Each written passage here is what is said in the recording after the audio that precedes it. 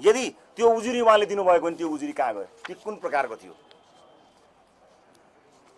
अनि नेपाली मिडियाले सधैँ मान्छे तर्साएर एउटा अदबमा राखेर मात्र चलिरहने? हामी त्यसो हुन दिँदैन त्यो हुन छैन। स्वार्थबाजीको समाचार भन्नुभयो तपाईँले। कन्फ्लिक्ट अफ इन्ट्रेस्ट मेरो। कन्फ्लिक्ट अफ इन्ट्रेस्टको कुरा गरौँ तपाईँलाई?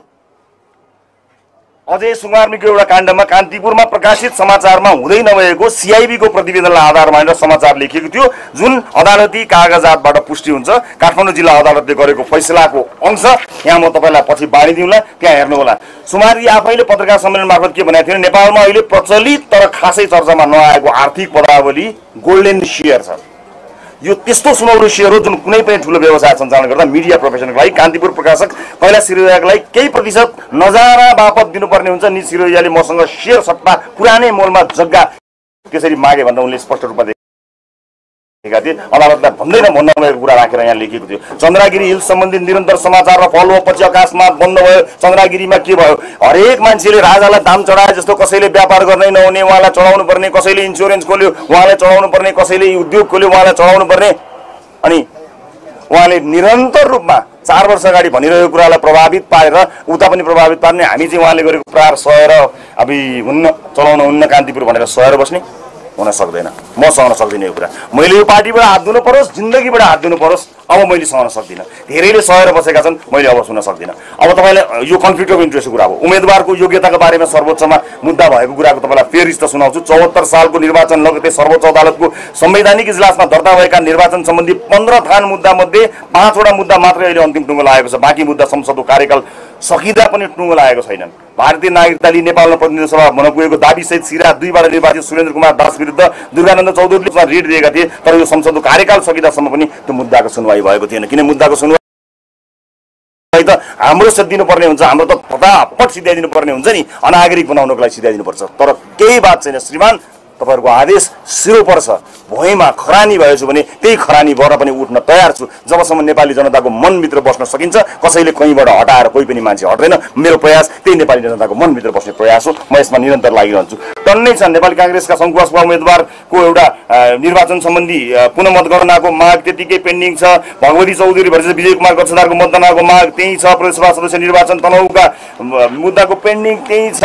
थारूकोटाबाट आदिवासी जनजाति समूहमा आएका अमृता देवी अग्रहरीको सबै पेन्डिङ छ। मुद्दा चल्दा चल्दै सभामुख र मन्त्री भएका छन्। मैले भनिरहनुपर्छ र? हरेक चिज रहेको छ। भने कन्फ्लिक्ट अफ इन्ट्रेस्टको व्याख्या मैले मात्र ध्या- ध्यान दिनुपर्ने? मैले मात्र ध्यान दिनुपर्ने हो र? त्यसमाथि यदि मैले कन्फ्लिक्ट अफ इन्ट्रेस्ट गर्थेँ भने यदि मैले पावरको मिसयुज गर्थेँ गृह मन्त्रालयमा भने त्यो पावरको मिसयुज गरेको कुरा त्यो पावरको मिसयुज मैले गरेको कुरा मेरो निर्णयमा मेरो अदालतको प्रक्रियामा देखिनुपर्ने थियो त म त केही पनि भइन म त एकैछिनमा उप प्रधानमन्त्री रहेन गृहमन्त्री रहेन म त एकैछिनमा सांसद रहेन म एकैछिनमा पार्टी सभापति रहेन म एकैछिनमा पार्टी सदस्य रहेन म एकैछिनमा नेपाली पनि रहेन केही पनि रहेन म मैले प्रभावित पार्न सक्दो रहेछु के प्रभावित पारेँ मैले मलाई सचिवजीले मन्त्रीज्यू हजुरको फाइल छ के गरौँ भन्दा मैले उहाँलाई उहाँको मनमा हरि छ भने उहाँलाई सोध्नु होला कुनै दिन। मलाई भन्नु मलाई यो नदेखाउनुहोस्। तपाईँको विवेक प्रयोग गर्नुहोस्। तपाईँलाई जे लाग्छ त्यही गर्नुहोस्। यसमा मैले हेर्न मिल्दैन। मैले चाहेको भए अदालतले भनेको चिज त्यो फाइल मैले नपठाइदिएको भए प्रहरीलाई नपठाइदियो भने डिले हुन सक्थ्यो नि। काहीँ कतै केही प्रभावित गरिनँ। त्यो उहाँहरूलाई कुनै दिन तपाईँले सोध्नु होला। अब अर्को पोखराका शिव वास्तोला र गीता श्रेष्ठको नाममा जग्गा किन्दा देख विकास बैङ्कमा पाँच करोड पच्चिस लाख जम्मा गरेको किर्ते भौचर देखाएर मालपुतमा जग्गा पास गरेको भन्दै अन्नपूर्ण ब्रोडकास्ट मिडिया प्रणालीका अध्यक्ष र सिमरी केरका मालिक रामेश्वर थापा विरुद्ध जिल्ला प्रहरी कार्यालय कास्कीमा ठगी मुद्दा जारी परेको छ। अनुसन्धान पनि अगाडि नगराइकन चुपचाप दबाइएको छ। ए आफ्ना मुद्दाहरू दबाइदिने आफ्नो गाडी पल्टेको जाँड खाएर मान्छे हानेको मुद्दा प्रहरीमा काहीँ नराख्ने। हामीले सार्वजनिक रूपमा भनेको र मुद्दा लड्दै गरेको कुरा दिनदिनैको हेडलाइन। अनि हामीलाई प्रश्न कन्फ्लिक्ट अफ इन्ट्रेस्ट हुँदैन। सबैलाई बराबर। कानुन सबैलाई बराबर हुन्छ। कानुन एउटालाई पनि फलो गर्न पाइँदैन। न्यायको सिद्धान्तले कसैलाई पनि यसो भनेर मलाई उन्मुक्ति दिनु भनेको होइन। मलाई उन्मुक्ति दिनु हुँदैन भने कसैलाई पनि उन्मुक्ति दिनु हुँदैन। कानुनको शासन बनाउनु पर्छ गृह मन्त्रालयमा म त्यही चिज स्थापित गर्न खोज्दै थिएँ। त्यसैको गन्ध दुर्गन्ध उहाँसम्म पुग्यो। त्यस कारणले कन्फ्लिक्ट इन्ट्रेस्ट हुन्छ। पिरहरू केही छैन। देशमा यत्रा मुद्दा छन् यत्रा चिजहरू छन् गृह मन्त्रालयमा रवि गयो कन्फ्लिक्ट जाने भयो जाने भयो। मैले कहाँ भने प्रधानमन्त्री र मेरो बिचमा भएको कुरा प्रधानमन्त्री त्यहीँ हुनुहुन्छ म यहीँ छु। प्रधानमन्त्रीले बोल्नु भएको छैन मैले बोलेको छैन मिडियामा आइसक्यो। प्रधानमन्त्री र रवि बिच कुनै भौतिक पूर्वाधार दिने मन्त्रालय जाने कार्य कसले लेख्नु भएको छ त्यो? लाज लाग्दैन तपाईँहरूलाई? कहाँ भन्यो कसले भन्यो भौतिक पूर्वाधार दिने भनेर? कसले भन्यो मैले भन्नु परेन प्रधानमन्त्रीले भन्नु परेन? हेडलाइन्स हेर्नुहोस् त। त्यही हेडलाइन विद्वान साथीहरूले लेख्नुहुन्छ अनि हेर त यस्तो लाजको मर्दो राजनीति लाजको मर्दोको राजनीति हामीले गर्नुपर्छ। गरेको छैन। मैले मागेको पनि छैन। आफू जाने नजाने कुरा आफू कुरा हो। र म तपाईँलाई आज यो कुरा बताउन चाहन्छु। उपनिर्वाचनबाट निर्वाचित नभइसम्म नभइ नभइकन म कहीँ जान पनि जान्न। म उपनिर्वाचित भएर फेरि जनताको माझ जान्छु। जनताले जिताएछन् भने म आउँला। जिताएनछन् भने पनि राजनीति चाहिँ गरिरहन्छु। मलाई कुनै ठाउँमा जानु छैन। तर राजनीतिक निष्ठा कायम गर्नको लागि भएको सम्झौता पुरा हुनुपर्छ भनेर म त्यस कारण आएको र मिडियाले जुन ढङ्गले सातजना बाह्रजना पत्रकारहरू जम्मा जम्मा भयो एक ठाउँमा बसी यो लेखिदिने यो लेख्थ्यौँ लेख्थ्यौँ लेख्थ्यौँ मलाई चरित्रहीन समेत बनाएर हेडलाइन राखिएको छ। उहाँहरूको चरित्रको बारेमा कहिलेकाहीँ सम्पादक नि भाउजूहरूले यसो फोन चेक गरे हुने नि घर छिर्नुभन्दा अगाडि नै डिलिट भइसकेको म्यासेज पनि निस्किन्छ नि। डिलिट हुँदैन। There is no such thing as delete in this world इन्टरनेटको वर्ल्डमा डिलिट भन्ने हुँदैन। सम्पादक नि भाउजूहरूलाई फुर्सद भयो भने भेट्न आउनु होला तपाईँका आदर्शवान जसले मलाई चरित्रहीन देखाउनु भएको छ तपाईँका आदर्शवान सम्पादकहरूको वास्तविक हैसियत र मुकुण्डो म उतारिदिन्छु आउनुहोस्। हुँदैन यस्तो। मिडिया छ भन्दैमा एउटा मान्छेलाई अन्यसरी त्यसबाट पेल्ने गलत चिज गर्ने त्यस्तो कुरालाई म स्वीकार्दिनँ। म यो कुराको खिलाफमा जान चाहन्छु। आफूलाई परेको कारण अहिले बोल्छस् भन्नु होला परेपछि दुखेपछि बोल्ने हो। धेरै दुखेपछि मान्छेले ऐया भन्छ। त्यस कारणले मैले यो कुरा तपाईँहरू समक्ष जार्नु नै थियो। यो कुरा बताउँछु। अब बिहानदेखि बेलुकासम्म गृहमन्त्री रविलाई दिने गृह जनता जान्न जान्छ जनता जान्न चाहन्छ ऋषि धवलाजीको कुरा के गर्नु? अरे यार ऋषि धमलाजीले ऋषि धमलाजी के भन्ने? कहिलेकाहीँ छ नि यो जोकर भएन भने सर्कस चल्दैन भनेर छोड्दै कहिलेकाहीँ जोकर चाहिन्छ सर्कस चलाउनलाई छोड्दै हुन्छ। पाँच करोड रुपियाँ ग्यालेक्सी खोल्ने बेलामा पाएको जीवी राईको फोनमा भिडियो छ अहिले। दिपक बोराको फोनमा उनले गरेको सौ रुपियाँ बढाइदियो उसको कुरा गरेर बस्नु म अहिले। Conflict of interest media ethics म बाध्य भएर बोल्नु भएको छु। कसो बोलौँ? कति मात्र बोलौँ? मेरो यो आक्रोश के भने आज हामीले देशी विदेशी शक्तिहरूले गर्दा हामीलाई प्रभावित पार्यो भने देशी विदेशी कोही पनि शक्ति होइन। यो देशका दुश्मन यहाँका सिन्डिकेट कायम गर्ने मिडियाहरू हुन् जो उभर्दै गरेको जनताको आशा र भरोसा लिएर आएको चार महिनामा पाँच महिनामा संसद पुगेको दललाई निरन्तर खेदिरहन्छन् जुन विषयमा कुन विषयमा खेदिरहन्छन् जुन विषयमा हामीले स्पष्ट जनतालाई पारेको छौँ। चितवनका जनतालाई मैले झुक्क्याएको छु। मैले चितवनका जनतालाई झुक्क्याएको हो। म क्षमा चाहन्छु आदरणीय चितवनवासीहरू। मेरा कारणले तपाईँहरूलाई दुःख भयो। फेरि फेरि दुःख हुने गएको छ। पटक पटक तपाईँले दुःख पाउनु भएको छ। म मेरो सामान्य त्रुटिका कारणले हुनु गएको दुःखमा म क्षमा चाहन्छु। होला मेरो नागरिकतामा प्रश्न होला। मेरो नागरिकता उहाँहरूलाई फर्जी नै लाग्यो होला। के देशको सबैभन्दा बढी मतान्तरले जितेको म र सबैभन्दा बढी भोट मतान्तरले जिताउने त्यहाँका भोट हाल्ने आदरणीय चितवनवासी जनताहरूको नागरिकता पनि फर्जी थियो। त्यो भोट त्यो जनमत पनि फर्जी थियो। त्यसको पनि काहीँ कदर गरिएन र रात केही पनि नहुने गरे आम नाम मान्छे पनि नहुने गरी त्यसरी मलाई हराइयो। त्यसरी त्यसरी त्यसरी मुद्दा अगाडि बढ्यो हराइयो भन्न मिलेन त्यो त स्वीकार गर्नुपर्ने कुरा भइहाल्यो। र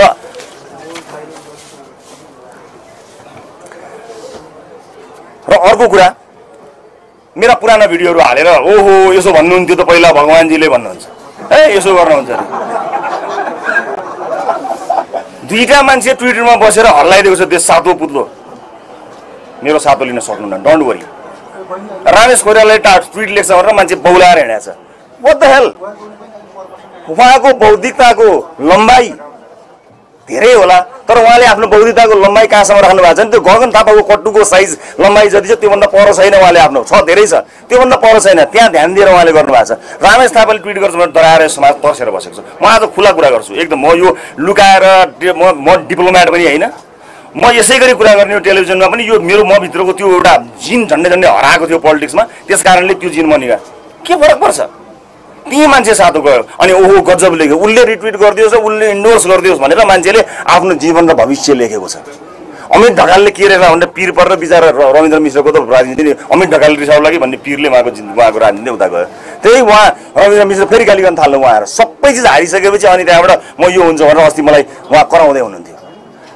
रविन्द्र मिश्रजी गुड्दा गुड्दैको उज्जवल थापाहरूले उज्जवल थापाहरूले सानो थियो होला तर इमानका साथ सुरु गरेको राजनीतिको गाडी अगाडि बढ्दै थियो। त्यो गाडीको चालक म हुन्छु भनेर तपाईँ घुस्रेन आउनुभयो र चल्दा चल्दैको गाडीबाट तपाईँ हाम फाल्नुभयो। आज विवेकशील साझा लडाइदिनु भयो अहिले तपाईँ मलाई इमान सिकाउनुहुन्छ टेलिभिजन इन्टरभ्यूमा गएर तपाईँ त्यहाँ बसेर मलाई सिकाउनुहुन्छ। मलाई सिक्नुपर्छ इमान मलाई थाहा छ तर तपाईँसँग चाहिँ सिक्दिनँ। म खुसी छु। मेरो उम्मेदवार मलाई मलाई केही छैन हाम्रो उम्मेदवारले हारेकोमा। तर चल्दा चल्दैको एउटा यस्तो मुभमेन्टको गाडी तपाईँले दुर्घटनामा पारिदिनु भयो। त्यो दुर्घटनाका लागि तपाईँलाई नेपाली जनतालाई नेपाली राजनीतिले कहिले पनि माफ गर्न सक्दैन। अब यसका विरुद्ध मैले के खप्नुपर्ने हो अब? अब यो यदि बोले बापत मैले सहनुपर्ने चिज अनगिन्ती छ। यो सुरक्षा लगायत अनेक चिजहरू होला। मलाई गृहमन्त्री पूर्व गृहमन्त्रीको रूपमा कुनै पनि किसिमको सुरक्षा चाहिँदैन मैले पहिले बताएको छु। उहाँहरू के भन्छ? स्टन्ट भन्नुहुन्छ। स्टन्ट हामीले गरेका कामहरूमा उहाँलाई हेडलाइन हाल्नु नै छैन। कसरमा त्यही निर्णय गर्यो भन्नुहुन्छ। कसरमा के निर्णय गर्यो उहाँलाई थाहा छ? थाहा छ तर उहाँ के भन्नुहुन्छ? कसरमा गृहमन्त्रीले जे गर्यो मानव उसले त कहीँ गयो खायो कि क्या हो भने जस्तो गरेर उहाँहरूले लेख्नुहुन्छ। कसरमा के निर्णय गर्यो? अवैध रूपमा लाइसेन्स नलिएका क्रसरहरूलाई बन्द गर्ने निर्णय भयो। मापदण्ड नपुगेकाहरूलाई मापदण्डमा पनि समस्या छ सच्याएर सर्टेन टाइमभित्र गर्ने निर्णय भयो। एउटा भनेर अर्को चलाएकाहरूलाई पनि चल्न नदिने निर्णय भयो। निर्णय भएको त यही हो। तर बाह्र भाइ पत्रकारलाई त यो पत्दैन नि। उनलाई त टक्क बसेर जान खाले यसलाई ठोक्ने होइन त भनेर। देखाउनुहोस् तिनले ठोकेर नेपाल गान्धी सधैँ ठोकिने। खेपी ओली डराउलान्। कान्तिपुरले ठोक्ला अन्नपूर्णले ठोक्ला अनलाइन खबरले सिद्ध्याउला सेतो पार्टीले रातो पार्टीले। नट मी तपाईँहरूलाई गलत मान्छेमा हातमा पर्नुभयो। मसँग चल्दैन। मसँग त्यो खेल त्यो धन्दा केही पनि चल्दैन। इमानका साथ आएको छु। गरेको गल्ती कमजोरी त्यति हो। आफ्नो देशमा फर्केर आएको थिएँ। सबैले त्यही गर्थे। आज यहाँ यहाँ जग्गा के गरेर लाने अब? अब अब जुन निर्णय भएको छ यहाँ जग्गा छ। दाजुभाइ बिचको अंशमा यही कसैको अंश तलमाथि छ भने अब उहाँ नागरिक हुनु भएन उहाँ। अब के गर्ने? सबैले चलेको कुराले म पनि आफ्नो देशमा भएको हुनाले मैले केही प्रक्रियागत त्रुटिहरू गरेँ होला। म त्यसको सजाय भोग्न तयार छु। तर त्यसका आधारमा टेकेर उल्टाएर नागरिकता पल्टाएर नागरिकता बिहानै नागरिकता बेलुकै नागरिकता त्यहाँ नागरिकता यहाँ नागरिकता उसको टिभीमा हेऱ्यो भने त्यही अर्गनाइज तरिकाले पेल्दै पेल्दै पेल्दै पेल्दै पेल्दै पेल्दै ल त्यहाँ सिद्ध्याउने भन्न खोज्नु भएको मैले त्यसैबाट भनेको म अभिमन्यु होइन। मलाई युद्धभित्र छिरेपछि छिर्न पनि आउँछ र निस्कन पनि आउँछ र म यसरी निस्केर देखाइदिन्छु कि तपाईँहरू हेर्नु होला। यो मेरो आक्रोश मात्र होइन यो मेरो प्रतिबद्धता यो मेरो आँट हो हो यो आक्रोश किन आएको छ भने जब मान्छेलाई किनारामा लगेर बिरालोलाई तपाईँले थुन्न खोज्नुहुन्छ नि थुन्दाखेरि गाह्रो हुन्छ। राजनीतिक हिसाबले राजनीतिक तरिकाले आउनुपर्ने हुन्छ। पाँचजना मिलेर निरन्तर रूपमा गर्ने जसले प्रमाणसहित गर्नुभयो उहाँसँग मेरो भन्नु केही पनि छैन। जसले प्रमाणसहित पत्रकारिता गर्नुभयो त्यो केरा उकेरा सुकेरा केले गर्नु। ठिक छ राम्रो भेरी गुड त्यही चिज अरूलाई पनि गरे हुन्छ। त्यो ढङ्गले आयो हुन्छ। तर सिद्ध्याउँछु यो गर्छु भनेर अर्गनाइज गराएर सारा मिडिया ठाउँमा बसेर गर्ने। म मलाई असाध्यै सेतो पार्टी ओ सेतो पार्टीले गरे त गजब हुन्छ जस्तो लाग्थ्यो मलाई क्या। मलाई लाग्थ्यो। म आज खुलेर कुरा गरिरहेको छु है। मन्त्री मन्त्री पद गएको झोकमा आज यो झोकिएछ भन्ने तपाईँलाई लाग्यो होला होइन? अलिअलि हो। है? अलिअलि त हो नि रिस उठिहाल्छ नि। ओ प्रधानमन्त्री गृहमन्त्री तब सबै गएको छ। होइन मलाई केही छैन त्यस्तो त्यस्तो नाटक मुगा मैले गर्न सक्दिनँ। हो अलिअलि त रिस उठ्या छ। रिसै उठायो। कम रिस उठ्छ भन्न मान्छे मेरो बायो हेर्नु भएको छ तपाईँले। मैले मान्छे लेखाएको छु। त्यतिसम्म त राख्लान् नि मलाई भनेर मान्छे मेरो बायो हेर्नुभयो भने मैले। त्यति त राख्लान् नि। भनेर मैले भनेको छु। मैले एकदमै मान्थेँ। अमितजीलाई सेतो पार्टीलाई भयङ्कर मा एकदमै मान्थेँ मैले। एकचोटि के भयो भने जीवी राईजीको सँग मैले काम गरेँ टेलिभिजनमा। उहाँको उहाँलाई कान्तिपुरले पेलेको पेलै पेलेको पेलै थियो। खालि त्यो उसको काम धन्दै त्यही त हो नि सेयर दिनु भएन होला। त्यही नै हो नि उहाँको धन्दा नै त्यही हो नि। कान्तिपुरलाई दाम नचढाइ त बाँच्न पाइन्न यहाँ। बाँच्नै पाइन्न उनलाई। अब आधारविहीन समाचार लेख्यो भने म कान्तिपुर घेर्न आउँछु। कान्तिपुरमा कुनै पनि मिडिया आधारसहित हाल्नुहोस् नो प्रब्लम। म मेरा साथीहरूलाई शुभचिन्त मसँग पनि तपाईँसँग रिडरहरू छन् होला मसँग पनि शुभचिन्तक छन् होला। तपाईँको पत्रिकामा तपाईँको सब्सक्राइबर छन् होला मसँग पनि मेरो सत्कर्मले जोडेका साथीहरू छन्। सबैलाई लिएर घेर्न आउँछु। गलत समाचार लेख्नुभयो भने गलत हेडलाइन लेख्नुभयो भने खबरदार। I will not tolerate this कसैलाई पनि पाला मात्र पाइँदैन। फाइट ब्याक गर्नुपर्छ। मान्दिनँ म। सही ढङ्गले लेख्नुहोस् चलाउँछु। तर गलत ढङ्गले म कुनै पनि मिडियालाई म मान्दिनँ टेर्दिनँ जसले गरेको छ मान्छु। सेतो पार्टीमा कान्तिपुरले जे लेख्यो त्यसपछि उहाँको फेरि उहाँ कति भाइ बाह्र पन्ध्र भाइ छन् नि त्यो भाइ अर्को भाइतिर जान्छ। त्यसपछि अर्को फाँचे फुचे भाइहरू पनि निस्केका छन् चिल्लापत्रतिर त्यो निस्केर गयो अर्को भाइ। कम्युनिस्ट पार्टीको कट्टर कार्यकर्ता बस्छन् त। थाहा छैन र? तपाईँहरू यो कुरा खुलेर गर्न सक्नुहुन्न। तपाईँहरूको जीवनमा यो कुरा हुने थिएन। आज मैले आँट गरिदिएँ क्या मैले। तपाईँहरूको लाइफमा यो हुनेवाला छैन। उसले पनि गएर माधव नेपालजीसँग क्लोज हुनुहुन्छ नि त उहाँ त त्यहाँ त जोगाउनु पऱ्यो ककललाई जोगाउनु पऱ्यो छ नि त उहाँहरूको। होइन? अनि उसले पनि लेख्न थाल्यो उसले पनि लेख्न थाल्यो उसले पनि लेख्न थाल्यो अनि सेतो पार्टीले लेख्न थाल्यो। के लेखिदिनु भयो उहाँले भने एकजना साथी हुनुहुन्थ्यो उहाँ चाहिँ ले सम्पर्कमै आउन चाहनु भएको छैन उहाँले फोन उठाउनु भएको छैन भन्नु उहाँसँग दिनभरि छु त्यो साथी जो हुनुहुन्थ्यो उहाँसँगै थिएँ। उहाँलाई फोनै आएको छैन। अर्को नाम लिनुभयो जीवी राईजीको दाईको नाम लिनुभयो। उहाँ बिचरा आफ्नो श्रीमती बितेको दस कि एघार दिनमा क्रिया गरेर हुन्थ्यो म उहाँकै घरमा थिएँ। क्रियामा बस्नुभएको दुःखमा बस्नुभएको साथी उहाँलाई फरार लेखिदिनु भयो। मलाई त्यो दिनदेखि त्यो दिनदेखि मैले आफूले आदर्श मानेको राम्रो मानेको अमित ढकालजी सेतो पार्टीदेखि मेरो मेरो उड्यो मेरो विश्वास उड्यो। मैले यो कुरा मैले यो कुरा मैले असाध्यै मान्ने कार्टुनिस्ट हुनुहुन्छ राजेश केसी अझै पनि मान्छु। उहाँ बाह्रखरीमा हुनुहुन्छ। बाह्रखरी पनि त्यही भाइमध्ये पर्छ। कङ्ग्रेसलाई जोगाउँछ? उसले कसलाई थाहा छैन भने? उसले त्यही लेखिदिन्छ। एउटा लेखिन्छ पालै पालै सेड्युल हुन्छ उसले लेखिन्छ मलाई दुःख छ राजेशजी प्लिज लिभ द्याट बाह्रखरी तपाईँप्रति मेरो सम्मान अलिकति बाँकी छ। मलाई भएको सम्मान जोगाउनको लागि पनि तपाईँ लेख्नु होला। केदार शर्मा दाई हुनुहुन्छ। केदार दाई तपाईँप्रति मेरो सम्मान छ। तर त्यही कान्तिपुरले लेखेको न्युज हेरेर हेर फटा नमान्नुहोस् मलाई किनकि त्यसले फटाइका कास लेखेको समाचारलाई तपाईँले आधार मान्नु भएन। त्यो तथ्य हुनु पर्यो ऊ बार्गेनिङ गर्छ। बार्गेनिङ नमिलेको कारणले न्युज लेख्छ। उसलाई मलाई त्यहाँबाट हटाउनु थियो। कन्फ्लिक्ट अफ इन्ट्रेस्ट मेरो थिएन उसको थियो। म गृहमन्त्री हुँदा उनीहरूको ब्यान्ड बज्नेवाला थियो। उसले कन्फ्लिक्ट अफ इन्ट्रेस्ट मलाई हटाउनुमा राख्यो। तर तपाईँलाई लाग्यो कि म कन्फ्लिक्ट अफ इन्ट्रेस्टमा छु। म कहिले पनि कन्फ्लिक्ट अफ इन्ट्रेस्टमा छैन। मैले आफ्नो मुद्दा मिलाउनलाई केही पनि गरेको छैन। अब विदेश बसेर पनि यो डा एकदम डाहा गर्ने साथीहरू पनि अनेक तरिकाले ओहो यो हुनु हुँदैन थियो त्यो हुन ज्ञान छाँटेर बस्छन्। नेपाल फर्किने अभियान चलाउँ भन्छन्। नेपाल फर्किने अभियान चलाउनै पर्दैन टिकट काट्नै आउने। के को अभियान? बाहिर नेपाल एयर टिकट बन्द भएको छ र। त्यो र- त्यो रट लगाइरहनु पर्दैन। स्वाभिमानको त्यति ख्याल माया छ भने टिकट काट्नै आउने। अभियान कसैले चलाइरहनु पर्दैन। अनि त्यहाँ बसेर टुच्च टुच्च हनिरहने गरिरहने टिज गरिरहने। यो कुरा मलाई स्वीकार्य छैन। त्यसैले आजको यो कुराकानी यो स्ट्यान्डर्ड लागेको छैन नि कस्तो तल झरेको रहेछ यसको त कुनै लेभलै छैन रहेछ भन्ने तपाईँहरूलाई लागिरहेको होला नि। कस्तो लेभललेस मान्छे रहेछ चौबाटो त्यो भट्टीमा बसेर गरे जस्तो र सियार गरे जस्तो कुरा गऱ्यो भने नि। नेपाली पत्रकारिताको लेभल भएन नेपाली जर्नलिजमले आफ्नो लेभल गुमायो त्यो लेभल सम्झाउनको निमित्त मैले भन्नै पर्ने हो। म सरकार चलाउने देश चलाउने हो कि फेरि मैले पत्रकारिता चलाउने हो? तपाईँ भन्नुहोस् पत्रकारिता तपाईँ चलाउनुहोस्। म त्यो एभिन्यूमा छैन म त्यो गाउँमा छैन त्यो ठाउँमा छैन त्यो गल्लीमा छैन। तपाईँहरूलाई नै भयो त्यो तपाईँहरू नै राख्नुहोस्। हिजो हुँदा तपाईँहरूले मलाई पत्रकारिता नमान्नु भएको उप प्रधान गृहमन्त्री भन्दा तपाईँको त मुटु फुटिहाल्यो नि। तपाईँको मुटु फुट्दा काम लाग्ने एउटा मुटुको डक्टर थिए तिनले पनि त्यो आधी मुटु उनको पनि फुटिसक्यो। तपाईँ कहाँ जाने? तपाईँलाई परेको पिर यति हो तर तपाईँलाई पिर पर्छ भनेर यो देश तपाईँहरूको अल ओल्जनमा अल्झिँदैन। तपाईँहरूको रणभुल्ल भएको जिन्दगीमा यो देश बस्दैन। त्यस कारणले मैले आज यो कुरा स्पष्ट पार्नै पर्थ्यो। यसको परिणाम मैले कत्रो भोग्नुपर्छ। मलाई थाहा छ तर आई एम रेडी त्यो परिणामको प्रवाह नगरिकन त्यसको वास्ता नगरिकन म आएको। म पत्रकारिता पढाउने मान्छे होइन पढाउन सक्ने हैसियत होइन। म पढ्न पनि नसकेको पत्रकारिताको मान्छे तपाईँलाई के पढाउन सकुला? तर म दुईवटा कुरा चाहिँ तपाईँलाई भन्छु। पढ्न मन भयो पढ्नुहोस् केही पनि फरक पर्दैन। आफूभन्दा सानो मान्छेबाट पढ्दा पनि हुन्छ कहिलेकाहीँ। म तपाईँभन्दा धेरै सानो मान्छे हो। पत्रकारिता दुई किसिमको गरिन्छ। एउटा सञ्जय बनेर पत्रकारिता गरिन्छ अर्को नारद मुनि बनेर पत्रकारिता गरिन्छ। सञ्जय जसले जे भएको थियो त्यही चिज महाभारतको युद्ध देखायो। कहीँ केही चिज फरक पारेन। यस्तो देखायो एउटा दृष्टिविहीनले पनि छर्लङ्ग देख्न सक्ने गरी महाभारतको युद्ध देखायो। एउटा सञ्जय हो। अर्को नारद मुनि हो जसले भएका कुरालाई भएका बाङ्गा टुङ्गा अनि छानी गर्दै घाम्दै घुमाउँदै घुमाउँदै पठायो।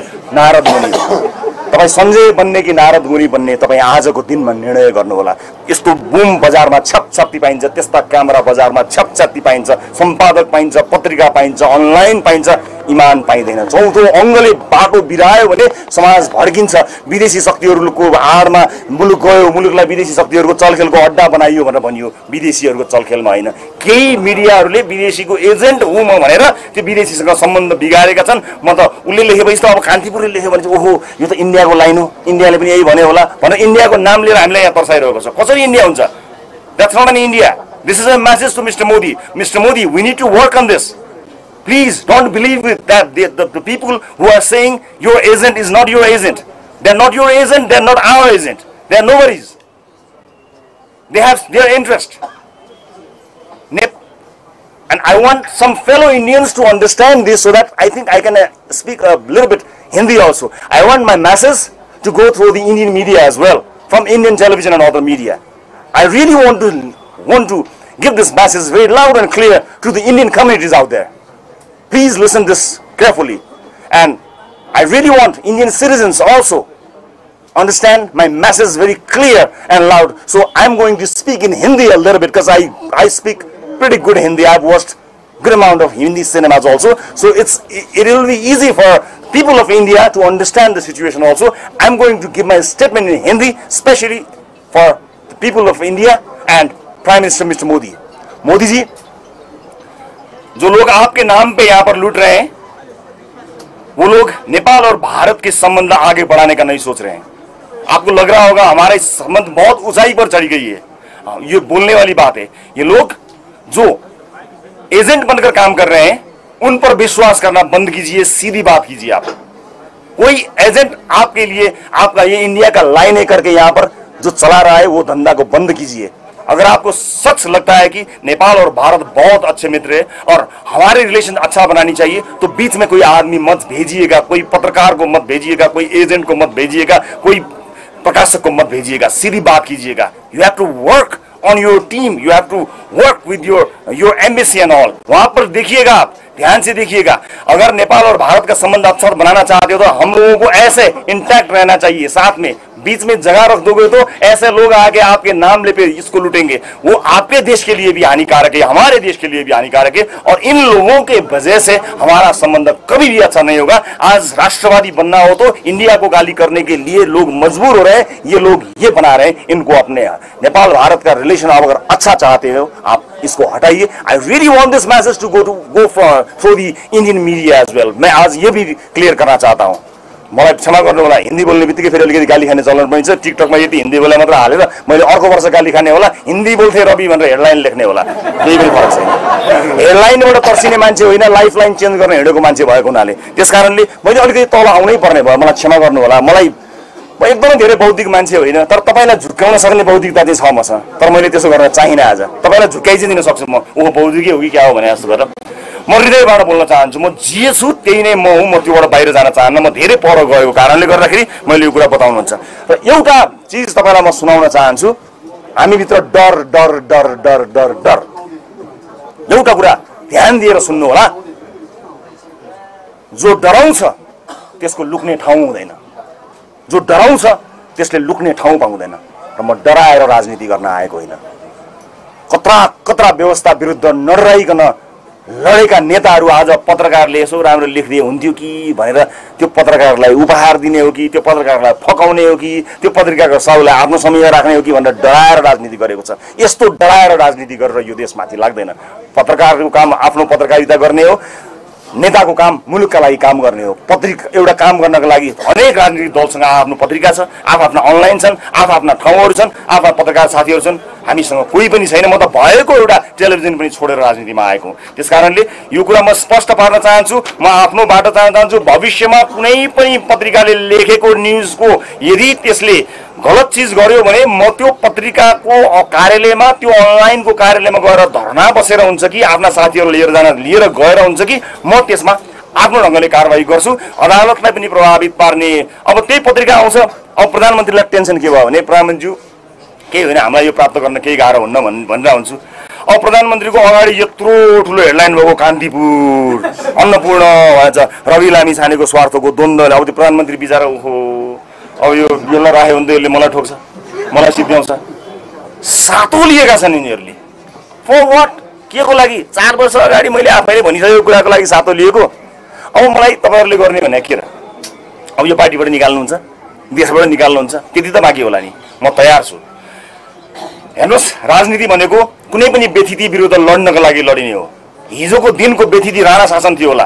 अर्को दिनको व्यथिति साई शासन थियो होला। अहिलेको व्यथिति मिडियाको व्यथिति छ यो कुरा नोट गरेर राख्नुहोस्। मैले तपाईँ आफू आउनुभएका साथीहरूलाई लक्षित गरेर भनेको होइन। तपाईँहरूको र तपाईँहरूको भविष्यलाई ध्यान दिएर भनेको हो। तपाईँको भविष्य पनि सुरक्षित छैन। यसरी साउले अराएको र खटाएको पत्रकारिता गरेर कहिलेसम्म खानुहुन्छ साथीहरू? एक दिन हाम्रो पार्टीमा खाना खाने। आउनुहोस्। इमानले बनाएर कमाएर खाएको खानाको स्वाद कस्तो हुन्छ? म देखाउँछु आउनुहोस् एक दिन यो पार्टीमा खाना खाउँ।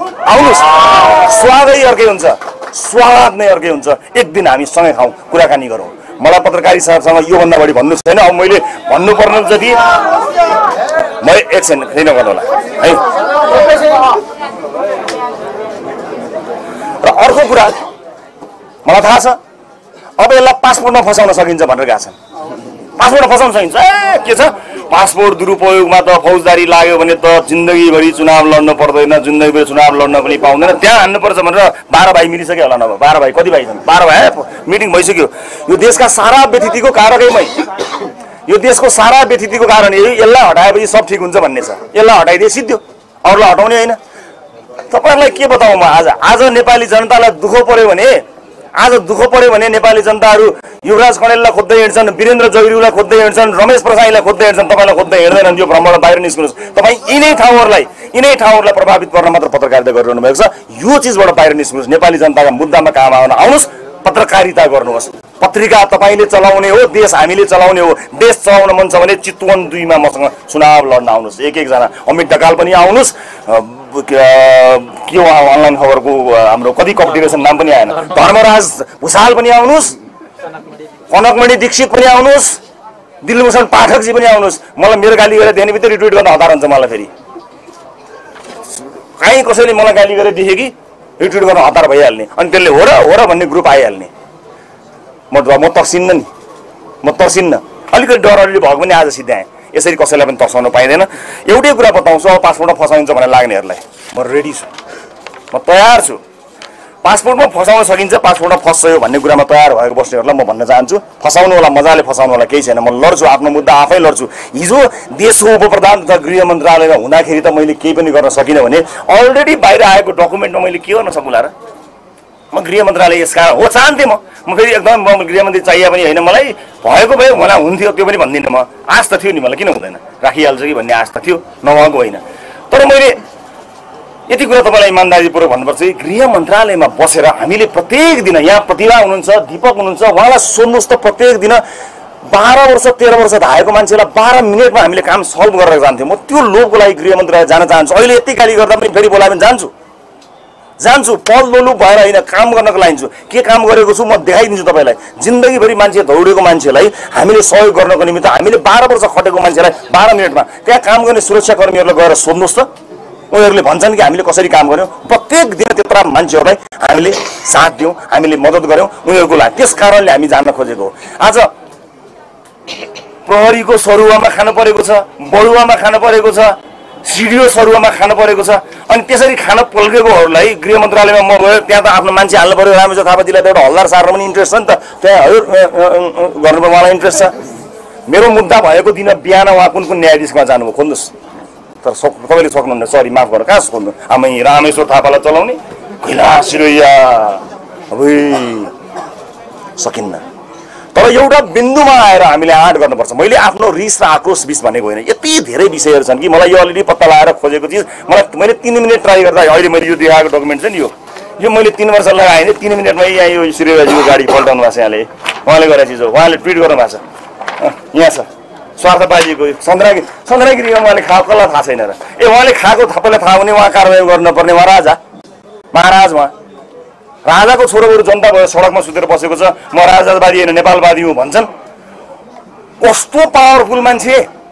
जाँड खाएर गाडी ठोकेर मान्छे घाइते भएर अस्पतालमा लगेर अर्काको नाम हालेर मुद्दा राफ साफ गर्दै बाफ रे बाफ लोकतन्त्र उहाँहरूलाई पावरफुल बनाउनको लागि बनेको अर्काको जग्गा खाइदिनुको लागि बनेको ब्याङ्कलाई तर्साउनुको लागि बनेको न्युज हालिदिन्छु नत्र तपाईँ सिद्ध्याइदिन्छु भन्नको लागि बनेको अर्काले अरबौँ खर्च गरेर घर जग्गा बन्दकी राखेर गरेको व्यापार व्यवसायमा त्यहाँ उसलाई सेयर दिनुपर्ने सेयर दिएन भने त्यसपछि सिद्ध्याइदिन्छ अरे अनि लेखिदिन्छ नि हेडलाइन। पढ्न त उहाँ कसैले पनि पर्दैन कसले पढ्छ जहाँ प्रभाव पर्छ त्यहाँ अख्तियारमा त पुग्छ नि त। ओहो अख्तियारको हेरे त मलाई सिद्धि होला भनेर तर्सिने। सातो। पहिला पहिला जनआस्थाले गर्थ्यो नि। जहाँ जहाँ लेख्यो त्यहाँ लगेर हालिदिने। उसो ससुरालीमा दिदी आएपछि सातो गएन ध्यानै त्यतिकै। यस्तो किसिमको पत्रकारिताबाट बाहिर दिनुपर्छ र मेरो अपराधको विषयमा मैले केही चिज गरेको हो। म आमाको काखमा फर्किएको मान्छे हुँ। यो देशमा केही मान्छे बाकसमा मात्र फर्केर आउनुपर्ने हो? म बाकसमा फर्किएको होइन म सास लिएर फर्केको हुँ आँट गरेर फर्किएको यो देशमा केही गर्छु भनेर। यिनको कामले व्यवस्थाले हिजो यो देशमा युद्ध चलेको थियो। म पनि अनेकौँ हजारौँ लाखौँ युवाहरू जस्तै आफ्नो भविष्य खोज्दै विदेश गएको हुँ। फर्केर आउँदा पनि मलाई एकदमै धेरै अनु अपमानित गरेका कारणले म त्यो अपमान सहन नसकेर फर्किएर फेरि विदेशै गएको हुँ। तर होइन अब नेपालले फर्किन्छु भनेर आएको हुँ। आउने बेलामा आफूलाई चाहिने पासपोर्ट आफूलाई चाहिने लाइसेन्स लगाएका चिजहरू बनाएको हुँ। त्यसको प्रयोग गरेको होइन दुरुपयोग सदुपयोग प्रयोग गरेको छैन। जब मैले बुझाइदिएँ त्यसपछि मात्र प्रयोग गरेको हुँ। एउटा एक्सन एन्ड इन्टेन्सन भन्ने हुन्छ। मेरा कारणले के कति क्षति भयो? मेरा कारणले के कति बिग्रियो? कसलाई नोक्सान भयो? मैले सोध्न चाहेको प्रश्न यति मात्रै हो। आदरणीय पत्रकार साथीहरू आजको अभिव्यक्तिमा म अलिकति आक्रोशित पनि भएँ होला। मैले अघि भनिहालेँ तपाईँलाई ढाँट्नै पर्दैन। उप प्रधानमन्त्री नि छ गृहमन्त्री नि छ सांसद पनि गुमेको छ। मान्छे भन्दामा केही बाँकी भएन त्यसमा अलिअलि आक्रोश त आइहाल्छ। त्यसलाई अन्यथा नलिदिनु होला। तर त्यसका बावजुद पनि हामी एउटा उद्देश्य बोकेर आएका छौँ। चार महिना कसैले सोधेन? एक महिना धाएर अमित ढकालजीले एकजना साथीलाई मौका पठाउनु भयो। मैले इन्टरभ्यू दिन्न है। इन्टरभ्यू दिन्न है म भनेको थिएँ होइन इन्टरभ्यू होइन केही भन्नुभयो उहाँ आउनुभयो इतिहासकै सम्बन्ध लामो लेख लेखेर उहाँले जानुभयो यो मान्छे भनेको चरित्रहीन। यो मान्छेको यसको महत्वाकाङ्क्षी हो यसको केही पनि छैन। यो अमेरिकामा बस्छ यो हावा हो। यो त यो हँसाउने टुका सबै गर्ने हिँड्ने मान्छे यसको केही सिरियसनेस छैन। भनेर यति लामो लेख्नु हो कि उहाँको आर्टिकलले गर्दा यस्तो राम्रो राम्रो उम्मेदवार आउनु आउनै आउनु भएन त्यही अमित ढकालजीको आर्टिकल उहाँले लेख्न पठाउनु भएको भानुभक्तजीबाट उहाँले मलाई फेभर गर्नुभएको छ भानुभक्तजीले मैले एउटा रिक्वेस्ट गरेर मान्नु भएको छ। उहाँप्रति मेरो सम्मान चाहिँ एकदमै राम्रो पत्रकार हो। त्यसरी काम लाग्दैन हुँदैन बेकार हो भन्नुभयो सा कसैले सोध्यो मलाई? कसैले मलाई सोध्यो? रविजी चार महिनाको बिचमा बिस बिसजना पाँच महिनाको बिचमा बिस बिसजना सांसद नयाँ अनुहारका साथीहरू बोकेर नयाँ पार्टी खोलेर तपाईँ यो देश बदल्न पुग्नु भएको छ। तपाईँको इलेक्सन क्याम्पेन कसरी भयो? तपाईँले यो कसरी सम्भव गर्नुभयो? यसलाई सफलताको कथा बनाएर कसैले लेखेको छ? यो सफलता होइन। यहाँ मेहनत परेको छैन। यहाँ मान्छेहरूले काम गरेका छैनन्। को को छन् तपाईँको टिमका मान्छेहरू। स्ट्राटेजी के हो? कसैसँग एक पैसा चन्दा लिएर उठाएको छैन। हाम्रो पार्टीको नीति छ कुनै पनि बिजनेसको मान्छेहरूले हामीलाई चन्दा दिने होइन अपारदर्शी इच्छाले देखाएर चन्दा लिने हो। अब हामी म यहीँबाट आह्वान गर्न चाहन्छु हामी पाँच वर्षको लागि एक हजार रुपियाँ मेम्बरसिप फी लिन्छौँ। पाँच वर्ष एक निर्वाचन कार्यकालको लागि एक हजार लिन्छौँ आम जनताबाट लिन्छौँ। मलाई विश्वास छ लाखौँ जनताहरूले हामीलाई त्यो एक हजार दिएर मेम्बरसिप दिनुहुन्छ। नेपाली जनताले दिएको त्यो एक हजार महँगो हो तर देशलाई महँगो पर्ने गरी कुनै व्यापारी घराना या स्वार्थ समूहको पैसा लिँदैन। महँगो पर्यो पर्यो माफ गर्नु होला तिर्नुहोस् नतिर्ने क्षमता नभएका कुनै पनि आर्थिक हैसियत कमजोर भएका साथीहरूले तिर्नु पर्दैन। तिनजना दुईजना केन्द्रीय समितिका साथीहरूले उहाँ कमजोर हुनुहुन्छ भनेर सिफारिस गर्यो भने हामी लिँदैनौँ तर सक्नेले तिर्नु होला एक हजार रुपियाँमा मेम्बरसिप पाइन्छ। कसैको जुठो नखाइकन यो पार्टी चलाउँछौँ कसैको जुठो नखाइकन यो पार्टी अगाडि बढाउँछौँ कसैसँग नडराइकन अगाडि बढ्छौँ। आउने चुनावमा राष्ट्रिय स्वतन्त्र पार्टीले सरकार बनाउने गरी अब उप प्रधान तथा गृह होइन प्रधानमन्त्री हुने गरी काम गर्न हामी लागि परेर बसेका छौँ। आज तपाईँले तर मैले यसो भने मैले यसो भनेपछि त बाह्र बाहिर त पासपोर्ट। होइन पासपोर्ट छ नि त। पासपोर्ट। त्यहाँ त फसाइदिन्छ आजीवन गर्न पाइन्न। म जेल परे पनि राष्ट्रिय स्वतन्त्र पार्टी अघि बढ्छ। म मरे पनि राष्ट्रिय स्वतन्त्र राष्ट्रिय स्वतन्त्र पार्टी अगाडि बढ्छ। म बहुलाए पनि राष्ट्रिय स्वतन्त्र पार्टी अगाडि बढ्छ। यो मिसन हो। एउटा व्यक्तिमाथि जाने नजाने भन्नका लागि लागेका होइनौँ। यो व्यतिथिबाट वाक्क दिक्क भएर हामी यसपटक सरकारमा गएका हौँ कि एउटा जिम्मेवारी लिएर। म सम्मानीय प्रधानमन्त्रीज्यूलाई र के अध्यक्ष केपी ओलीज्यूलाई धन्यवाद भन्न चाहन्छु। आज स्वतन्त्रपूर्वक काम गर्ने अधिकार उहाँले हामीलाई दिनुभएको छ। एउटा स्पिरिट मिलेको छ प्रधानमन्त्रीसँग मैले उहाँलाई भनेको थिएँ तपाईँसँग चुनाव लड्न तपाईँलाई हराउन भनेर म गएको तपाईँसँग मेरो एकदमै धेरै विमति थियो तर तपाईँकै सरकारमा म किन आउँदैछु थाहा छ? तपाईँले काम गर्ने योपालि गरेर देखाउने मेरो धेरै गाह्रो हो भन्नुभयो। त्यस कारणले तपाईँ आएको यसपटक गरेर देखाउने आँट पनि छ। सामान्य प्रधान प्रधानमन्त्रीज्यूले मलाई पटक पटक भन्नुभएको छ मलाई अब चाहिँदैन केही कुनै टेन्सन छैन। म मजाले काम गरेर देखाउँछु। यसपटक मलाई काम गर्ने अवसर दिनुहोस्। मजाले काम गर्छु भन्ने भएपछि ल ठिक छ।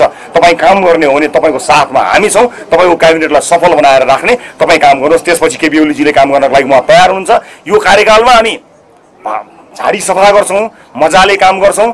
त्यस पछाडि तपाईँहरूको सहमति अनुसार सहमति त उहाँहरूको सहमति कुरा नगरौँ अहिले। सहमति अनुसार होला तर हामी काम गर्छौँ भनेर उहाँले भन्नुभयो। मेरो वर्तमान व्यवस्थाप्रतिको प्रतिबद्धता मैले बारम्बार भन्दै आइसकेको छु। कोही कोही मान्छे मलाई कोही फेसबुकमा रिक्वेस्ट एक्सेप्ट नगरेको भनेर रिसाएको छन् त्यसै गाली गर्छन्। कोही फोन उठाएन भनेर गाली गर्छन्। कोही यो राजावादी किन नभएको भनेर गाली गर्छन्? हाम्रो कतिजना वकिलहरू हुनुहुन्छ त्यो राजावादी भइदिएन भनेर गाली गर्छन्। अब स्वयं राजाको छोरा उहाँ भन्नुहुन्छ राजावादी साजावादी होइन नेपालवादी भन्नुहोस् न भनेर भन्नु भएको छ। उहाँ भने उहाँहरूलाई म राजावादी भइन भनेर उहाँलाई गाली गर्नुपर्छ। मुद्दा हाल्न जाने मध्ये कति चाहिँ लड्न जानेर उहाँ राजावादीमा भइरहेकै गजब उहाँ भयङ्कर खुसी हुन चाहनुहुन्थ्यो हामी जनतालाई राजा बनाउन हिँडेका हौँ। हाम्रो कुनै विमति छैन। कुनै पनि व्यवस्था कुनै पनि अगाडिका चिजहरूलाई हामीले गाली पनि गरेका छैनौँ केही पनि गरेका छ सबैले आफ्नो ढङ्गले अगाडि बढ्न सक्नुहुन्छ। हामीलाई त्यसमा केही छैन। तर मान्छेको चित्त दुखाइ कहाँनिर छ भन्ने कुरा दुश्मनी कहाँनिर लिएका छन् मान्छेले भनेर हेर्दै जाँदाखेरि कसैलाई हाम्रो राजनीतिक हामीले लिएको राजनीतिक धारमा उसको जस्तो राजनीति किन गरेन भन्ने पिर परेको रहेछ। तर यसपटक म यति भन्न चाहन्छु यदि लोकतन्त्र थिएन भने म जस्तो मान्छेले निर्वाचित भएर सत्ताको विरुद्ध आगो कलेर राजनीतिमा आएर मिडियामा गएर आम जनताको इस्यु उठाएको र राजनीतिक दलले गरेका शासकहरूले गरेका बदमासीको भण्डाफोर गरेर चुनाव उठेर जितेर उपप्रधान र गृहमन्त्री बन्न सक्ने ल्याकत यो व्यवस्थामा भएका कारणले हामीले व्यवस्थालाई मानेर व्यवस्थाभित्र अवस्था फेर्न आएका हौँ। त्यस अर्थमा यो व्यवस्था ल्याउनेहरूप्रति हाम्रो सम्मान छ। यदि कुनै अरू व्यवस्थामा हुन्थ्यो त्यहाँ निरङ्कुशता हुन्थ्यो भने हामी जस्ता मान्छेहरूले बोल्न पाउँदैनथ्यौँ तर आज सँगै आएका छौँ। हो यसभित्र कमजोरी छन्। अघिल्ला पटकमा भएकाहरूलाई गाली गरेर पनि केही हुनेवाला छैन। जो जे वादी भयो भने हामीलाई केही पनि भन्नु छैन। हाम्रो सम्मान छ। इतिहासले गरेका चिजहरूमा हामीलाई केही पनि भन्नु छैन। तर हामी इन्डिपेन्डेन्ट पार्टी हौँ हामी राष्ट्रिय स्वतन्त्र पार्टी हौँ हामी हाम्रै ढङ्गले हामी यही माटोमा आफ्नो विचार अगाडि लिएर जान चाहन्छौँ। पार्टी खोल्न पाएको छैन मुद्दा चुनाव चिन्हमा आएको छैन मुद्दा गर्नु चाहिँ के त? अब मन्त्री क्वार्टर खाली गरेन भनेर लेख्नु अब अमित ढकालजीलाई फोन गर्नु त म खान सामान मैले उहाँले सामान चोरेर लग्यो भनेर लेख्नुहुन्छ भनेर म सामान चाहिँ नलिकन आफू निस्केको। त्यही दिन छिरेको पनि छैन। म त्यो एरिया पनि गएको छैन। सामान चाहिँ ल्याउँदै गर्नलाई केही फरक पर्दैन किन त्यहाँ फेरि लेख्नुहुन्छ। यो अमित ढकाललाई हाम्रो शिव गाउँलेजीलाई धर्मराज भूषालजीलाई दिलभूषणजीलाई कैलाशजीलाई सबैलाई फोन गरेर बोलाउनु चाहिँ नत्र फेरि सामान चोरेर लग्यो भनिदिन्छ उहाँले। त्यस कारण राखिराखेँ मैले मेरो श्रीमतीले मेरो लुगै छैन गनाइसक्यो लुगा लिन जाउँ नजाऊ लुगा लिन नजाउँ हामी। यिनीहरूले फेरि त्यहाँ भएका सामान चोरेर लगे यति पापी छन् यिनीहरू नि। यति पापी छन् यति दुःख दिएका छन् यिनीहरूले मलाई। सामान चोरेर लग्यो भनेर लेख्न समेत यिनीहरू हिचकिचाउँदैनन्। लेख्न सुद्धा छ कि भनेर हेर्न च्याउन सुत्त गए। पापको पनि एउटा सीमा हुन्छ। त्यतिसम्म पापी छन्। केही भयो मैले जान जान। जस्तो आएको त्यस्तै लिएर जाने। केही चिन्ता गर्न पर्दैन। अनि कुनै दिन अब यो कुरा चलिरहेको छ यसलाई कन्फर्म गरेपछि निस्केर जाउँला। हाम्रो मन्त्री कोही आउने सम्भावना भयो भने उहाँ त्यहीँ बस्नुहुन्छ केही गर्नु परेन। तर त्यहाँ नजाने एउटा पनि सामान नलिने भनेर आएर सुत्यो। घरमा त्यसपछि गएको छैन। मेरो पनि यो पाइन्ट अहिलेसम्म चेन्ज गरेको छैन। अरू एउटा दुइटा घर आफ्नो घरमा भएको चिज बाहेक। अब राम्रा चिजहरू गरेको उहाँले हाइलाइट गर्नुहोस् मैले भनेको छैन मलाई चाहिँदै किन त्यो लाइन लाग्नुपर्ने केस होइन। मेरो विशेष केस हो नि। तपाईँलाई थाहा छ नि त्यो विशेष केस हो नि। होइन? लाइन ला लाइन लाग्नु पर्दैन त्यहाँ। त्यहाँ चाहिँ के भने अर्कै किसिमको व्यवस्था भयो हुनाले सिडिओ कहाँ जानुपर्छ निवेदन दिनुपर्छ। उहाँहरूले व्यवस्था गरे हो नि त। लाइन लाग्दा लाग्छु त। लाइन लाग्दा लाइन लाग्दै स्टन्ट गऱ्यो उहाँलाई कत्रो भिड। म गरौँ चाहिँ के त अब? बस एयरपोर्टमा जाँदा बस किनभने म अघि पछि पनि सोध्नुहोस् मलाई प्रायः चिनेको हुनाले स्वेच्छाकर्मी साथीहरू सर भिआइपी रूपमा बस्नु न सर भिआइपी भन्नुहुन्छ। म पर्दैन मलाई भिआइपी म होइन। म बस्छु भनिरहन्थेँ म। म मन्त्री हुँदा पनि गइनँ मलाई त्यो उता उता छ पनि छैन। तर यो त एकदमै स्टन्ट बाज यो चाहिँ यसको चाहिँ पपुलर हुन खोज्ने यसको चाहना हो। लोकप्रिय हुने मेरो रहर चाहना हो। सत्कर्म गरेर पपुलर हुने चाहना नै मेरो जिन्दगीको चाहना कसैलाई पैसा कमाउने इच्छा होला कसैलाई के कमाउने इच्छा होला म नाम कमाउने रहर छ नि। तर नाम कमाउँदा म सत्कर्म गर्छु कि गर्दिनँ त्यो मात्र इम्पोर्टेन्ट कुरा। लेख्नुहोस् त ल मैले आजसम्म गरेको अपराध के गर्यो? दुर्गम कालीकोटमा अस्पताल बन्यो। त्यहाँ पनि खोज्दैछ नि यहाँ। त्यहाँ पनि दुर्गम कालीकोटमा अस्पताल बनायो हामीले सामान्य एउटा डाक्टर मुकुलसँग मेरो त्यहाँबाट चिन्जान भयो क्यान्सरबाट सर्भाइभ गरेको मान्छे उहाँ। उहाँ cancer survivor doctor Mukul Dhakal. उहाँले एउटा प्रस्ताव लिएर आउनुभयो कि कालीकोटमा अस्पताल बनाऊ भनेर। त्यो अस्पताल एउटा कम्युनिटी अस्पताल बनाउन खोजेको थियौँ। तर हामीले फन्ड रेज गर्दा होइन यस्तो दुर्गम ठाउँमा अस्पताल बनाएपछि त अलिक ठुलै बनाइदिउँ न ताकि पछिसम्मलाई काम लागोस् भनेर हामीले सरकारलाई सोध्यौँ। हामीले फन्ड रेज गर्छौँ। हाम्रो दुई दुई दुई करोड तिन करोडमा हाम्रो सकिन्थ्यो अस्पताल। तर यो दुई तिन करोडमा सकिने अस्पताल भन्दा पनि यसलाई अलिकति ठुलो बनाइदियो भने काम लाग्छ भनेर प्रदेश सरकारलाई भने केन्द्र सरकारलाई भने हुन्छ दुई चार करोड त हामी दिइहाल्छौँ नि भने हुन्छ भनेर हामीले काम गर्न थाल्यौँ। पछि सरकारले दिन मानेन को फेरि यो प्रधानमन्त्री फेरि हाम्रो टाउकोमा लोन पर्यो। त अस्पताल भनेको डेटमा यति दिनभित्र भनेको चिज त्यति दिनभित्र र त्यो ठेकेदार कम्पनीले त्यो भनेको डेटमा उसले उसले यदि एक दिन पनि ढिला गरेको भए उसलाई फाइन लगाउने कन्ट्र्याक्टमा अस्पताल बन्द गऱ्यौँ र अस्पताल बन्द गरेपछि मैले चार पाँच करोड त हामीले उठायौँ फन्ड रेज हेर्नुहोस् दिल खोलेर माया गर्न केही पनि पैसा लाग्दैन। वालेट खोलेर पैसा दिएर माया गरेका छन् नेपाली नागरिकले। डराउँछु कान्तिपुरसँग डराउँछु अन्नपूर्णसँग। वकिललाई रक्सी लिएर बुझाउने न्यायाधीशका घर घरमा रक्सी लिएर जाने एमबिसीलाई चाहिँ नि रिजाउनेसँग डराउँछु। डराउन्न नि सर। डराउँदिनँ। नेपाली जनतासँग डराउँछु। गलत काम गर्छु कि भन्ने डराउँछु? कसैसँग डराउँदैन। अरू त्योभन्दा बाहेक कसैसँग डराउँदैन। मर्न पनि डर छैन लोभ पनि राखेको छैन। त्यसरी अस्पताल बनाइयो। त्यो अस्पताल बनाइसकेपछि ऋणमा लाग्यो तर अस्पताल अलिकति स्तर उन्नति गरे प्रदेश अस्पताल हुन्छ। एकचोटि गएर त हेर्नुहोस् त्यो कालीकोटमा कसरी अस्पताल बनाएको छ। चारवटा नेताले राति रक्सी खुवाउँछ भन्दैमा त्यसको लागि यति खेदो खनेर लेखियो अनि फेरि त्यहाँ त फेरि अब रामेश मार्का रामेश रामेश रामेश मार्काका ट्विटरहरू हुनुहुन्छ नि त्यहाँ त। ट्विटरमा गएपछि तपाईँ त्यो ट्विटरले त मलाई नगरकोटमा गाई चराउन सक्छ नि भन्दैन। मेरो हैसियत त्यसले यसले त नगरकोटमा गाई पनि चलाएर खाँदैन भन्ठान्दैन त्यति अपमानित गर्छन् मलाई। अमेरिकाको घर जग्गा सम्पत्ति सबै बेचिसकेँ। अहिले पुरानो के भेटाएको रहेछ त्यो पनि भनिदिइसकेँ। केही बाँकी छैन नि। सबै लियो त्यो भागेर हिँड्ने कुरा आएन। यहाँ हेर भगवान् यहाँ हेर यसको त्यस्तो गरेको छ। त्यो अस्पतालमा हामीले के गऱ्यौँ? त्यसलाई सम्पन्न गऱ्यौँ। त्यहाँबाट अडिट मान्छेले दिएको कागज अडिट रिपोर्ट सबै राखिदिएको छ। चन्दा दिनेहरूको राखेको छ। अब कोभिडमा कोभिडको बेलामा ज्यान तपाईँलाई एउटा अचित्त दुख्ने कुरा बताउँछु म। किन यति रिसाएको होला मसँग मिडिया मैले खाइदिएको के छ? न तपाईँहरूको जस्तो टेलिभिजन मैले मैले गरेको मैले आफ्नै मौलिक कार्यक्रम गरेको म नेता न नेतालाई ल्याएर इन्टरभ्यू गरेको नेपाली जनताको दुःखको काम गरेको होइन। नेपालको नाममा वर्ल्ड रेकर्ड बनाएर राखेको छु म नेपाली होइन। म नेपाली होइन भने त्यो बाढी गएको बस्तीमा गएर सहरहरूको घर बनाउने मान्छे को हो? दुर्गम कालीकोटमा अस्पताल बनाउने मान्छे नेपाली होइन भने त्यो को हो? कहाँको मान्छे हो त्यो? दुःख परेका मान्छेहरू आउँदाखेरि उनीहरूको न्यायका लागि लड्ने को हो? किसानका लागि लड्ने को हो? को हो म त्यतिखेर? म यति कुरा तपाईँलाई राख्न चाहन्छु र अन्त्यमा म एउटा कुरा गर्न चाहन्छु त्यो अस्पताल बनाउँदा सबै चिज राखिएको छ। कोभिडका बेलामा हामीले अक्सिजनको जोहो गऱ्यौँ।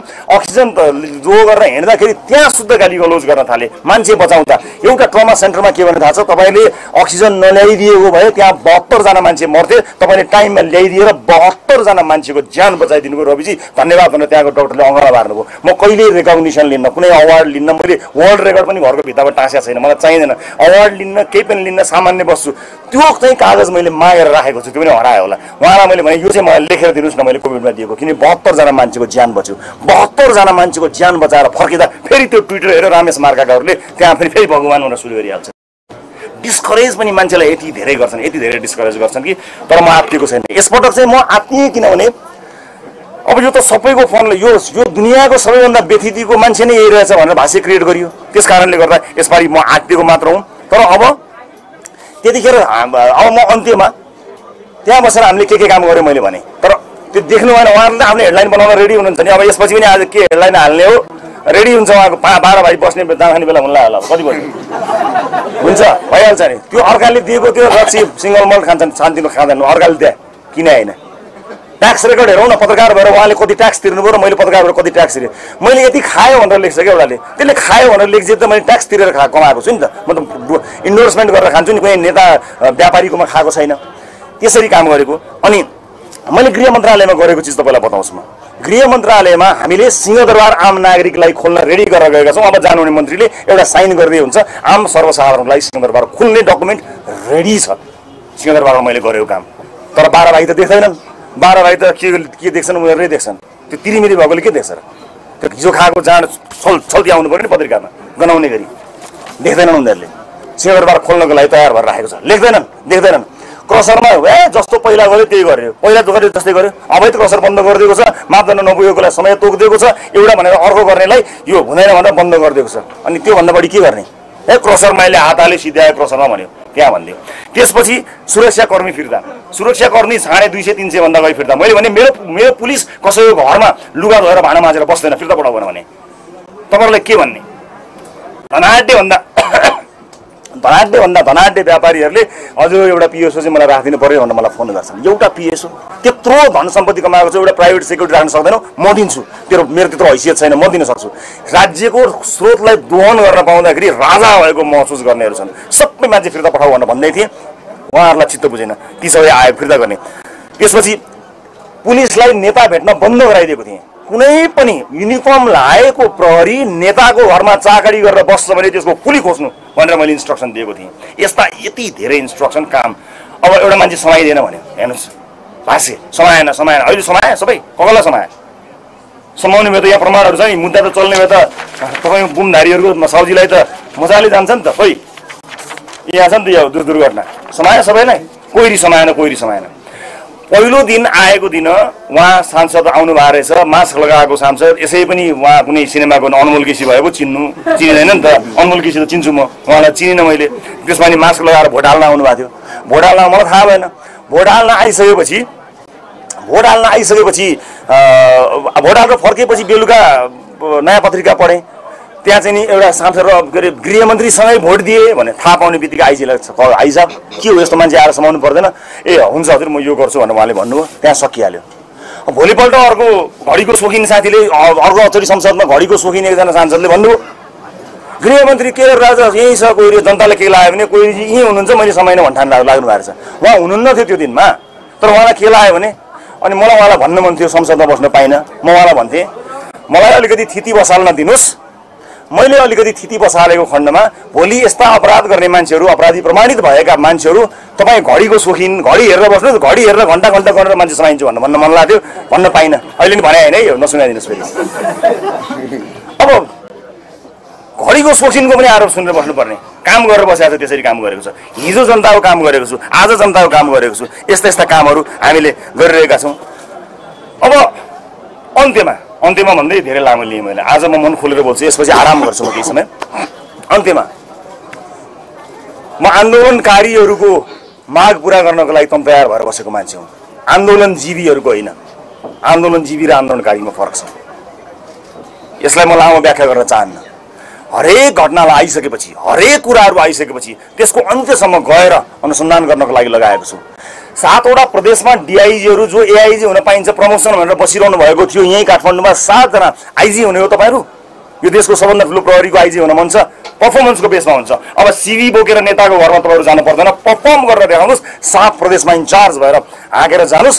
सात प्रदेशमा तपाईँले गर्नुभएको कामका आधारमा मूल्याङ्कन भएर तपाईँ आइजी हुनुहुन्छ। कुनै ब्रिफिकेसको जरुरत पर्दैन सिबी बोकेर हिँड्नु पर्दैन काम हेर्छ। अपराध अनुसन्धान तपाईँले गर्नुभएको गर्नु भएन लागु औषध नियन्त्रण तपाईँले गर्नुभएको गर्नु भएन चेलीबेटी बेचबिखन रिपोर्ट गर्नुभएको गर्नु भएन बालबालिकाहरू सुरक्षित छन् कि छैन गुन्डागर्दी के छ? यसका आधारमा तपाईँहरू आइजी हुने हो तपाईँहरू चाहिँ सिबी बोक्दै फाइल बोक्दै हिँड्नु पर्दैन भनेपछि एक पैसा मैले सुने अनुसार पहिलो पटक हिस्ट्रीमा पहिलो पटक एक पैसाको चलखेल नभइकन त्यत्रो ठुलो सरुवा बडुवाहरू भयो सरुवाहरू भयो सिडिओहरूको सरुवामा विधि बनाइयो।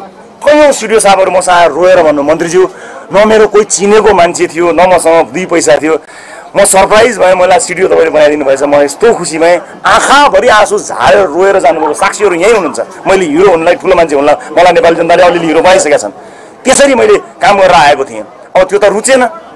त्यो त मन परेन। मन नपरेपछि त्यो सूचना त उहाँतिर गयो। जो चाहिँ आफ्नो छोराको एक्सिडेन्ट लुकाउनुहुन्छ राजाको छोरा उहाँको छोरा त होइन? उहाँहरूलाई चित्त बुझेन नबुझेपछि त्यो सत्र समाचार पुग्यो।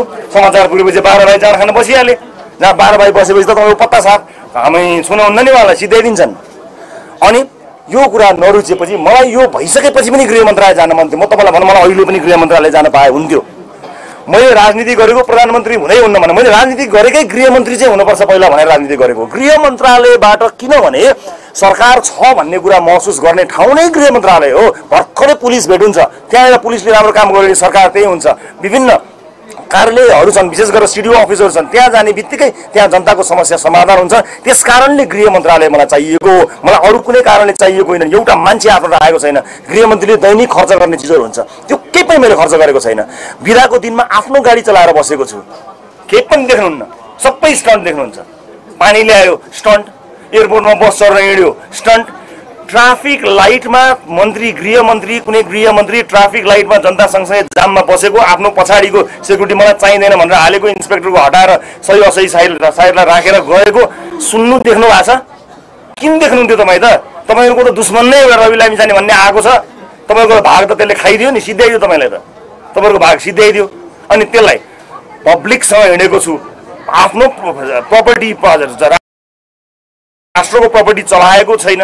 प्राइभेट गाडीमा प्राइभेट काममा हिँडेको छु सेक्युरिटीको मिसयुज गरेको छैन ट्राफिक लाइटमा हिँडेको छु लेनमा हिँडेको छु जनतासँग सहकार्य गरेको बसेको छु सरुवा बडुवामा चलखेल गरेको छैन विधि बनाएर अगाडि बढाउँदैछु जनताका लागि सिंहदरबार खोल्दैछु अवैध क्रसर बन्द गराउँदैछु वैधमा ल्याउनका लागि मापदण्ड तयार गरिरहेको छु अलिकति विलचेयर लगायतका अप्ठ्यारो परेका अपाङ्गता भएका साथीहरूलाई सिंहदरबार ल्याउनको लागि सटलको व्यवस्था गरिरहेको छु पुराना केसहरूलाई हेर्नको निमित्त काम गरिरहेको छु प्रहरीभित्रको चलखेल बन्द गर्न खोजिरहेको छु। नेपाल प्रहरीका जवानहरूलाई सोह्र वर्षमा अनिवार्य होइन कि ऐच्छिक अवकाशको लागि नीति बनाउनलाई काम गरिरहेको छु। प्रहरी ऐनमा काम गरिरहेको छु। अन्य स्थानीय प्रशासन ऐनमा काम गरिरहेको छु। बोर्डर सेक्युरिटीको लागि विदेशका कयौँ ठाउँहरूमा रेस्क्यु हेलिकप्टर्सदेखि लिएर वार रुम बनाउनको लागि सम्झौता गर्न जान मात्र रेडी भएर हिँडेको छु। यो सबै चिज त बाह्र भाइ जनाया पत्रकारले देख्दैनन्। यिनले त बसमा उभिएको एउटा खाली ठाउँ। अब मैले कुरा गर्दा त्यो ठाउँ खाली थिएन उठ्थ्यो फोटो खिच्थ्यो अब म त्यो खाली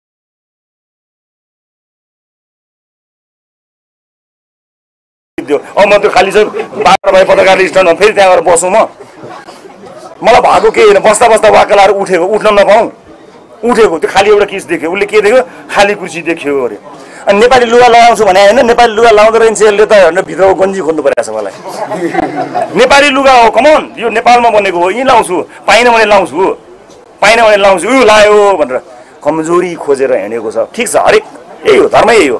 तर के यो देशको सम्पूर्ण व्यथिति गरेको मान्छे हो र हामी एउटा आशा भरोसा नेपाली जनताको विश्वास बोकेर आएको होइन? एउटा आशा भरोसा र विश्वास बोकेर आएको मान्छेलाई लखेटेको लखेटे लखेटेको लखेटे गर्ने। पाँच वर्ष यहाँहरूले मलाई लखेट्नु भयो। पहिला लखेट्नेहरू अर्कै थिए अब लखेट्नेहरूको अनुहार चेन्ज भएर आयो। पहिला लखेट्ने पनि लगिरहेको लखेटिरहेछ। यति लखेटे मलाई यति लखेटे यति लखेटे यति लखेटे लखेट्दा लखेट्दा मलाई यिनीहरूले यो देशको उप प्रधान तथा गृहमन्त्री बनाए। अझै लखेट्दैछन्। अब के बनाउलान् अन्त्यमा यो चाहिँ सुपर अन्त्य यसपछि छैन। यति लखेटे यति लखेटे मलाई उप प्रधानमन्त्री बनाएर छोडे अझै लखेटिरहेछन्। अब मलाई अब अब बाटोमा हिँड्छु त्रिशुतिर खसालिदिने एउटा उपाय छ। म खसेछु भने पनि यो विचार जन्मिसकेको छ विचार मर्दैन। अन्य धेरै उपाय छन्। को सुरक्षित छ र यहाँ म चाहिँ अब बबुरो? के सुरक्षित? सरकारले दिया सेक्युरिटी त लिन्न। म केही सुरक्षित छैन। नेपाली जनताले जोगाएसम्म यी बाह्र भाइको डर मलाई छैन। कुनै भाइको पनि डर छैन। अन्त्य सुपर लास्टमा एउटा कुरा भनेर म बिदा हुन्छु। त्यसपछि तपाईँको क्वेसन पनि लिन्छु। अन्त्यमा जब भगवान् गौतम बुद्ध फेरि यसलाई आफूलाई बुद्धसँग तुलना गरेर रविले यसलाई आउँछ भन्नु कि नभन्नु? आज म मुडमा छु है। अब फेरि रवि लामिछानेले आफूलाई तुलना गरे बुद्धसँग भनेर आइदिन्छ। ल है आया होस् केही छैन। होइन? भगवान् बुद्ध जब बुद्धत्व प्राप्त गर्न भनेर एउटा उद्देश्य बोकेर निस्किनु भयो त्यतिखेर दरबार छोडेर यो मान्छे हिँडेको छ भनेर उसलाई यसो गरे अरे सबैले ए हारे हात अगाडि बुद्ध अगाडि बढेको बढै छन् पछाडि फर्केको छैन। त्यतिखेरका बाह्र भाइहरू लगायतकाहरू सेना सेना रामेश टाइपकाहरू हे त्यो हाम्रो विश्वदीप भाइ पनि छन्। आफ्नै दाई भाषा पुग्दा कहिले कहिले गगनको खानु परेको कहिले देउबाको खानु परेको छ खाने कन्फ्युज कहिले काहीँ त्यो वाक्क हुँदाखेरि उसलाई मैले कहाँको खाएकै बिर्सिँदो रहेछ। झुकिएर गगनलाई गगनको सपोर्टमा लिनुपर्ने ट्विट देउबाको सपोर्टमा भइरहेछ। टेन्सन। ए लखटिरहेछ पुरा। होइन? लखटिरहेछ। पुरै लखटिरहेछन् बुद्ध बुद्ध आफ्नो बाटोमा हिँडेको हिँडेछ। लखेटेको छ लखेटेको छ लखेटेको छ उताको मान्छेले भनेको छन् ए धारे हात लगाएको छ। बुद्ध अगाडि बढ्दै गए बढ्दै गर्दै बढ्दै गए बाटो अगाडि गयो। जम्मा भए भिडहरू यी सबै मान्छेहरू जम्मा हुँदै गए आए हात घारे हात लगाएको छन्। बुद्धले आफ्नो काम गर्दै गए पछाडि ध्यान दिएनन् आफ्नो बाटोमा अगाडि बढ्दै गए। जब उनी बुद्ध भए जब उनी आफ्नो आफ्नो उद्देश्य प्राप्त गरे त्यतिखेर बल्ल बुद्धले फर्केर हेरे। फर्केर हेर्दा ठुलो भिड थियो तर त्यो भिडमा एउटा फरक थियो। यसो यसो गर्ने हातहरू यसो यसो भइरहेको थियो यसैलाई ज्ञान बनाएर म अगाडि बढेको छु। यही मूल मन्त्र बोकेर म अगाडि बढेको छु। मैले यति भन्नु पर्थ्यो मैले यसै गरी भन्नु पर्थ्यो किनभने यसै गरी बुझ्ने नेपाली तल बसेका नेपाली दाजुभाइ दिदीबहिनीहरूलाई बुझाउने हो मैले। फाइभ स्टार होटलमा बसेर देश कसरी या यसलाई कसरी मन्त्री बनाउने यार कसलाई फाल्ने यार कसलाई सचिव लाने भन्ने मान्छेले मेरो कुरा नसुनोस् नहेरोस्। मलाई त्यसको पर्वाह छैन। मलाई भित्री मधेसमा बसेर दुःख पाइरहेको मधेसको त्यो मेरो साथीले मेरो कुरा बुझोस् मेरो भाषा बुझोस् उसको र मेरो भाषा एउटै हो। यही भाषा बुझोस् भनेर म यहाँ आएको। मैले यसै गरी बोल्नु परेको हो। म झुक्क्याउने बौद्धिकता चाहिँ राख्छु धेरै बौद्धिक होइन? उनले बुझोस् पहाडमा भएको सामान्य मान्छेले मेरो भाषा बुझोस् मेरो अर्थ बुझोस्। म त्यस कारणले यो भाषामा बोलेको। त्यस कारणले आदरणीय साथीभाइहरू म अब तपाईँलाई अन्त्यमा यति भन्न चाहन्छु कि मुलुकलाई केही गर्नको निमित्त आएका हामी जस्ता मान्छेहरू जो बाकसमा आउन चाहेनन्। आज पनि मलाई गाली गर्नेहरूमध्ये अधिकांशको चारचोटि युएस भिजा रिजेक्ट भएको छ। म युएस पासपोर्ट फालेर आएको मान्छे हो। कमन एक्सेप्ट गर्नुहोस् यार। डिए कतिचोटि भर्नु हो? अमेरिका जान पायो भने कतिजना जान्छन्? म त्यो पासपोर्ट फालेर आएको मान्छे हुँ। मेरो बाध्यताले लुकेको होइन म। मेरा जिन्दगीका कथाहरू आफ्नै थिए। अब अनलाइन खबर भन्नेले एउटा लास्ट अलि अनलाइनलाई अलि हान्न पुगेन अलि छुट्यो धर्म छुट्यो। अरू पनि छ भने भन है। त्यो संसार त लागेको छ हुँदा हुँदा बाह्र भाइ बुझ्नु परेको नि त उसलाई।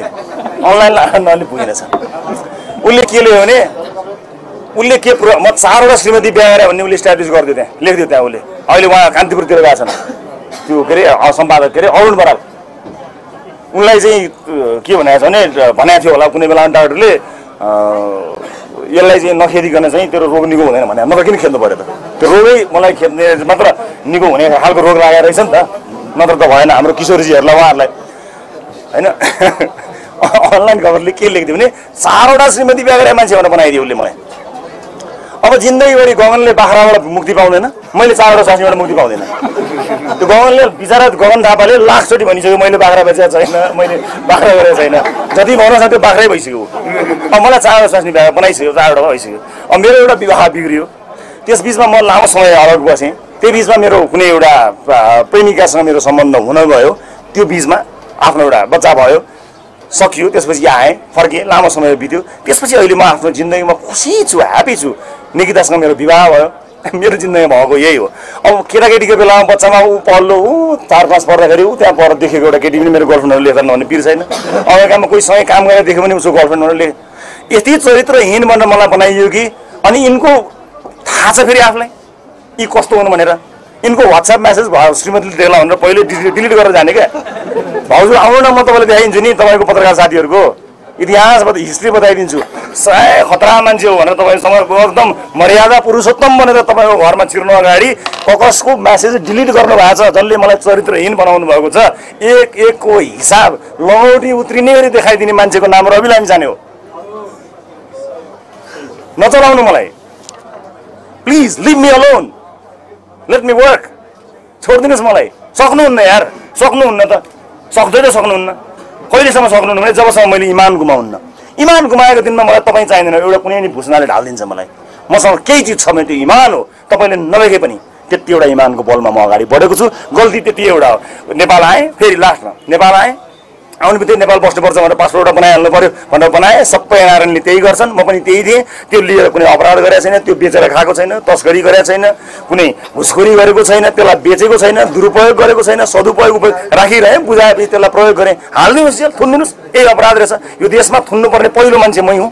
कतिवटा अपराधको अनुसन्धान गरिसकेपछि मेरो पालो आउने हो नत्र। म पनि लाइनमा बस्न पाउनु पर्ला नि त। यो देशमा अपराध अनुसन्धान हुन बाँकी भएका केसहरूमा यो देशमा सर्वोच्च अदालतले फैसला गर्न बाँकी भएका केसहरूको लाइनमा बस्न नपाउने म लाइन बेचेर जानुपर्ने। म मर्नै पर्ने म सिद्धिनै पर्ने मेरो राजनीति सिद्धि म जेलै जानुपर्ने। यस्तो अचम्म छ। अब यस्तो भाष्य क्रिएट गरिएको छ। त्यसले गर्दा आदरणीय साथीहरू आज मैले आफ्नो आक्रोश पनि व्यक्त गरेँ। यति भएपछि मलाई आनन्द भयो मन्त्री पद गयो पनि मलाई केही छैन। बल्ल रिलिफ भयो। अहिलेसम्म अलिक पीडा नै थियो मलाई। अब त्यो पीडा पनि रिलिफ भयो तपाईँहरूसँग बाँडेँ। यसलाई तपाईँहरूले पक्कै पनि अन्यथा लिनुहुने छैन भन्ने मैले विश्वास लिएको छु। अरू कसैलाई केही भन्न बाँकी छ कि? नछोड आजै हो भन्ने। हस्। एकछिन क्वेसन आउँदैछ सर पढ्नुहोस्। सर आउँछ आउँछ। सर आउँछु है। आज आज त होइन म जहिले पनि प्रश्नको उत्तर दिइहाल्छु। है। होइन सिद्धि अब धेरै भन्नु पनि हुँदैन अब फेरि। फेरि ल। त्यसले गर्दा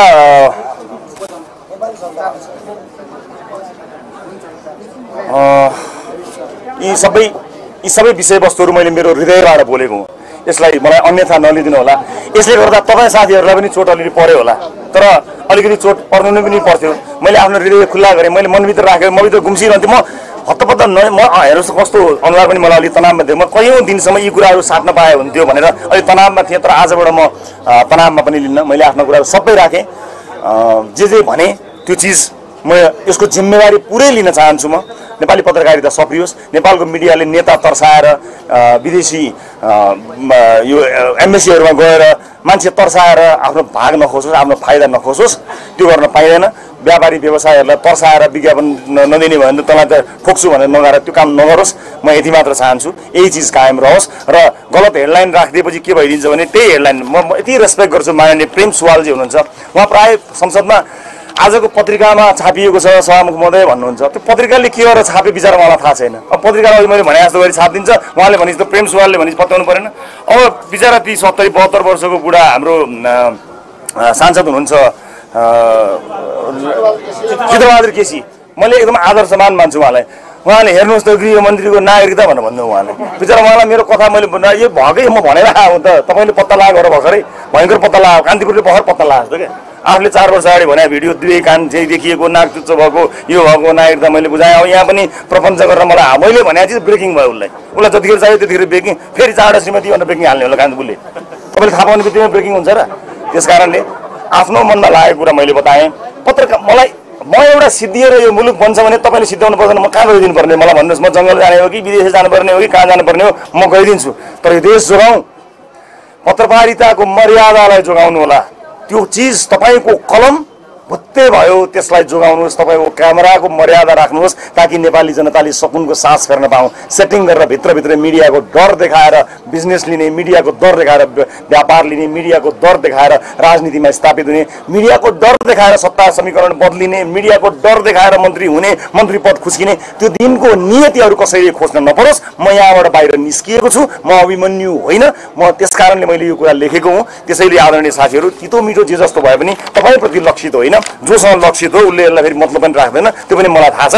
अब यसको बदलामा मैले कत्रो ठुलो परिणाम भोग्नु पर्ने हो मलाई थाहा छैन। जे भोग्न पनि म तयार भइवरी मैले यो चिज भनेको छु। अब तपाईँहरूको प्रश्न लिन्छु ल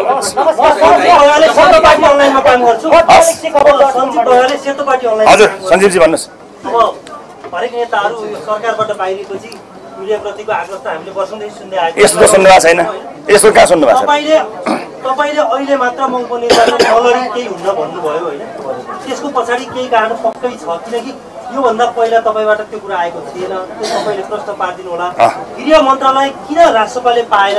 प्रधानमन्त्रीले किन दिनु भएन अथवा तपाईँले लिनु भएन? कि त्यो पनि भनिदिनु। किनकि गृह मन्त्रालय नपाए हामीले सरकार छोड्छौँ भनेर तपाईँकै पार्टीका नेताहरूले पटक पटक भन्नुभएको हो। स्वयं तपाईँको पार्टीको प्रवक्ताले भन्नुभएको थियो। गृह नपाएर सरकार छोडेको हो कि आफू हुने नभएर छोडेको पनि प्रश्न पारिदिनु होला। अर्को नागरिकतामा त्रुटि थियो भनेर तपाईँ आफैले भन्नुभयो। तपाईँले प्रक्रिया नबुझेर हो कि यहाँको प्रक्रियालाई हेपेर हो त्यो पनि भनिदिनु होला। अनि राजधानीबारे तपाईँको भनाइ के हो त्यो भनिदिनु होला। अर्को एउटा प्रश्न। चुनावको बेलामा विदेश गएकालाई फर्किन निशुल्क अभियान चलाउँछु भन्नुभएको अहिले चाहिँ आउने टिका काटेर आऊ न भनेर गाली गर्नुभएको छ। त्यो कारण कसरी तपाईँ त्यो मोह भन्नुभयो ल अब है म पाले पालो भन्छु। है तपाईँले यति धेरै प्रश्न गर्नुभयो कि एउटा कुरा गृह मन्त्रालय हाम्रो एउटा सम्झौताभित्र बसेको हुनाले पावर सेयरिङ गर्दाखेरि कसले कुन कुन मन्त्रालय लिने भन्ने कुरा हामीले छुट्याएका हौँ। त्यस कारणले हामीलाई आओस् भन्ने कुरा गरेको। प्रधानमन्त्रीज्यूले तपाईँ भएको हिसाबले भएको हो तपाईँ गृह भएको हुनाले अब अन्य तपाईँको साथीहरूको हकमा चाहिँ अलि नहोला कि गृह मन्त्रालय किनभने एउटा सिनियर लिडरको हिसाबले र पार्टीकै सभापति भएको हुनाले हो भन्ने उहाँले भन्नुभएको। त्यस कारणले हो हामीले हाम्रो पार्टीभित्र हामीले पार्टीलाई भने मलाई भन्ने होइन मेरो लागि भनिएको होइन। हामीले कहिले व्यक्तिको लागि भनेका छैनौँ त्यो त तपाईँहरूको हेडलाइन हो नि। रविको मुह त तपाईँको हेडलाइन हो। मैले कहिले भनेको छ भने देखाउनु होला मैले भनेको छैन। अहिले मैले भनेको अभियान ल्याउने मैले सामान्य मान्छेहरूका हकमा भनेको हो अन्य जर आम सर्वसाधारण। अभियान चलाएर नेपाल जाउँ भन्नेहरूलाई मैले लक्षित गरेको हो। मैले अर्कै मान्छेको लागि भनेको हो त्यो त्यसमा मिलेन तपाईँको त्यो त्यो त्यो त्यो प्रसङ्ग त्यो होइन। अर्को उपचुनाव लड्ने भन्ने कुरा मैले त तपाईँले भन्नुभएको थिएन। मैले कहीँ बोलेकै त थिएन। मैले नबोल्दा त यत्रो बोल्नु भएको तपाईँले म चुप लाएर बसेको थिएँ त। जब मैले बोलेकै थिएन तपाईँले किन नबोल्नु भएको भन्न तपाईँको प्रश्न मिलेन। मैले जे बोलेको थिएँ किन बोलेको थिएन र? म तपाईँको स्टुडियोमा पो आएको थिइनँ र।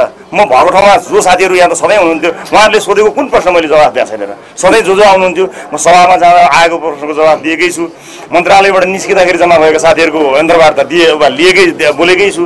सब तपाईँहरूको प्रश्न जे आयो मैले त्यसको जवाफ दिने हो। प्रश्नै नआइकन मैले जवाफ दिने कुरा आएन। अहिले तपाईँले प्रश्न गर्नुभयो मैले जवाफ दिएँ। व्यक्तिको कुरा होइन मेरो लागि गरिएको होइन। यो चाहिँ हाम्रो पार्टीकालमा लागि भएको कुरा हो त्यो नभएको कारणले गर्दाखेरि अब मिनिमम कमन प्रोग्राममा पनि हामीले डेलिभरी गर्ने कुराहरू थियो क्या। गृह मन्त्रालय हुने बित्तिकै धेरै काम गर्न पाउँथ्यौँ हामीले। हामीले नागरिकलाई सेवा हिजो सिधा कुरा चलाउँदाखेरि जस्तो थियो लगभग त्यसको रेलेभेन्ट धेरै काम गर्न सकिन्थ्यो। हिजो एउटा रिपोर्ट बनाउनु पर्थ्यो त्यसको फलोअप बनाउनु पर्थ्यो सबै गरेर सोध्नु पर्थ्यो फोन गर्नु पर्थ्यो। पाँच महिना छ महिनापछि त्यो काम हुन्थ्यो। त्यहाँ गएर मैले एक कल गर्ने बित्तिकै मन्त्रीले कल गर्ने बित्तिकै काम बन्यो त्यो हुने नै काम थियो। बिचरा नागरिक दुःख पाएर उहाँ जान्थ्यो। के भन्छ मिडिया दौड्थ्यो। त्यो चिजलाई अन्त्य गर्न खोजे अब मैले। त्यस कारणले गर्दा गृह चाहिएको भनेको गृहमा हामीले अड्डी लियो के भने त्यो एउटा एउटा पावर सेयरिङ गर्दाखेरि भएको कुराकानी हो हामी डेलिभर गर्न सक्थ्यौँ भन्ने हिसाबले मैले भनेको। मैले क्वेसन कुनै छुट्याएँ कि सञ्जीजी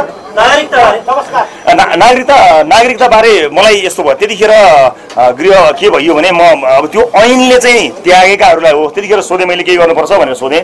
किनभने इमिग्रेसनसँग थिएँ नि त म त। मैले केही गर्नुपर्छ भने अब ऐनले चाहिँ त्यागेकाहरूको हकमा होइन तपाईँ त्यागेकै होइन तपाईँको त्यो भएर खास केही पनि गर्नु पर्दैन भन्ने कुरा आयो। फेरि म आम चासोको मान्छे पनि थिइनँ केही मतलबको विषय पनि थिएन। म जस्ता कयौँ मान्छेलाई अहिले जसको तपाईँहरूलाई चासो पनि छैन खोज्ने कुरा पनि भएन। मै चाहिँ चुनावै जित्न आँटेँ भनेपछि त कतिलाई पेट पेट पोल्या त हो नि नत्र त यो त के थियो र अरू धेरै मान्छेहरू हुनुहुन्छ। त्यसले गर्दा त्यो कुरा मलाई थाहा भएन। थाहा भएन होइन कि त्यो कुरा मलाई त्यसै गरी भनियो। मलाई किन ऐनमा नआउने तपाईँ त्यागेको होइन नछोडेको हुनाले भनेपछि तैपनि मैले हुन त मैले केही गर्नुपर्ने रहेनछ तैपनि सरकारले आफ्नो अध्यावधि गरोस् भन्नका लागि भनेर निवेदनसम्म हालिदिएँ मैले। अनि त्यो गृह मन्त्रालय गयो गृह मन्त्रालय म पछि सञ्चार मन्त्रालयमा अन्तर्गत उसले सेवा भन्यो। सरकारले रेकगनाइज गर्यो रेकर्डमा राख्यो भनेपछि त्यो भयो होला मैले भन्ठाने। हुनुपर्ने पनि हो व्याख्याको कुरा हो मैले त्यागेको होइन ऐनले त्याग गर्नु भन्छ। मैले मेरो नागरिकता त्यागेको कुनै रेकर्ड हुनु पऱ्यो नि त। मैले कहाँ नागरिकता त्यागेको छु त? त्यागेको त रेकर्ड कहीँ पनि छैन। त्यो अहिले पाएको पनि पुनः प्राप्ति हो। अब यो व्याख्या हो त्यसले गर्दा मैले पाइसकेँ मैले चितवनका आदरणीय मतदाताहरूसँग मैले क्षमा मागि पनि सकेँ म फेरि पनि क्षमा चाहन्छु। त्यसमा मैले कसैलाई दोष दिन चाहन्न मेरो आफ्नै कमजोरी भनौँ केही कारणले भयो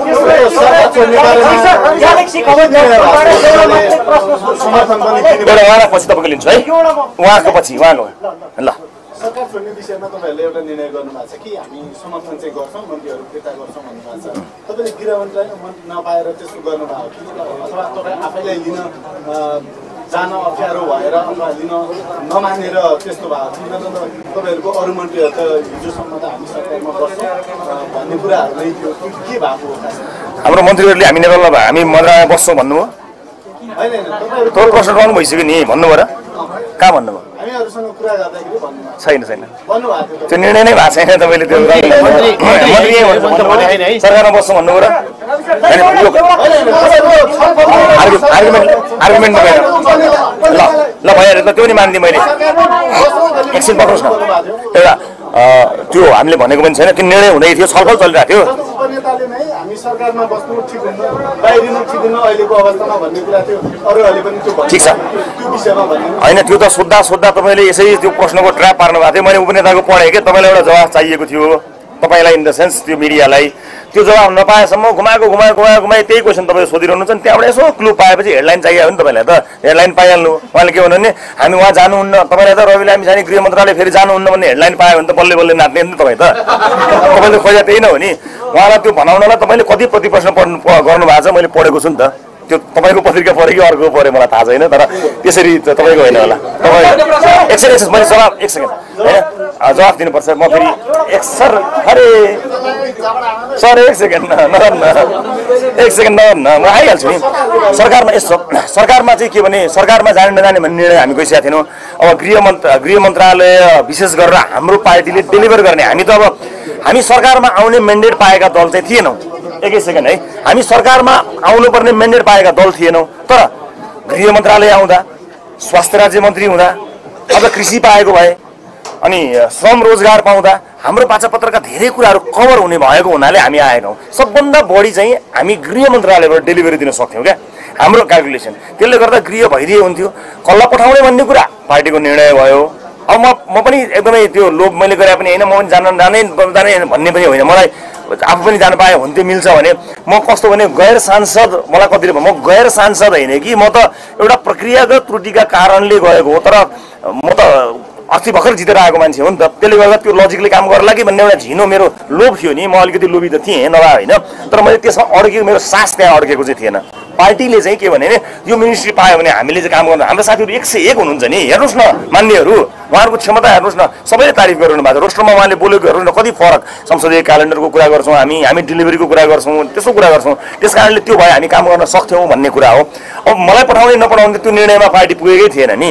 मन्त्रालय नै नआएपछि म जाने कि अरू जाने। त्यहाँ थिएन तर तपाईँहरूलाई चाहिँ मिडियासका साथीहरूलाई हतार भएको मात्रै हो क्या? रवि गृह जान खोज्यो गृह जान खोज्यो गृह त्यो देला भन्ने पिरले चाहिँ त्यो देखियो तपाईँहरूलाई तर त्यस्तो थिएन। हामी गृहको रिजन छ सरकारमा किनभने गृह हामी डेलिभर सरकारमा गइसकेपछि हामी म पद ओढेर बसेर भएन नि त। उहाँले श्रम रोजगारमा हामी श्रम श्रमिकहरूको विषयमा म तपाईँलाई थाहा छ टेलिभिजनमा काम गरे हो नि त। हामीले बुझेरै छाने हौँ। काम गर्न पाइएन भने त। त्यो मन्त्रालय भएर अब अहिले हामीले उहाँलाई ऊर्जामा पठाउँ हामी ऊर्जा भन्नु ऊर्जा हामीलाई नलेज हामी साथीहरू हुनुहुन्छ होला कोही तर हाम्रो चासो भएन। त्यस कारणले डेलिभरी गर्ने होकमा नपाएको हुनाले पाइरहेको हो त्यो मैले पाउनको लागि मेरो मसँग फोकस चाहिँ होइन। अर्को उहाँको क्वेसन सर एक उहाँको एउटा क्वेसन समर्थन चाहिँ हामी अब किनभने समर्थन फिर्ता लिने बित्तिकै त भोलि सरकार ढल्न सक्ला फेरि त्यो त्यो त्यो एउटा त्यसको कारक चाहिँ बन्नु भएन। राजनीतिमा के भने त्यो चाहिँ इमानबाट बाहिरिन चाहिँ हुँदैन। हामीले समर्थन लिने बित्तिकै एउटा धारा आकर्षित हुने देखिन्छ। यद्यपि त्यसको व्याख्या बाँकी नै छ त्यो गरेर त हामी त त्यो व्यथितिको अथवा त्यो अस्थिरताको कारक बन्न हामी चाहँदैनौँ। त्यसले गर्दा छोड्नु पऱ्यो भने छोड्छौँ नि तर सरकारै छोडेर सरकारलाई ढालि नै दिनुपर्ने गरी कुरा बिग्रेको त होइन नि त। खालि हामीले डेलिभर गर्न पाएनौँ भनेको कुरा भएन। अरू त के बिग्रिएको थियो? प्रधानमन्त्रीले मजाले काम गरुन्जेल काम गर्न दिनुभएको थियो। मैले बेस्ट पर्फर्म गर्ने पाएको थिएँ। त्यस कारणले अस्थिरताको कारक बन्न नचाहेको कारणले। बाँकी तपाईँको?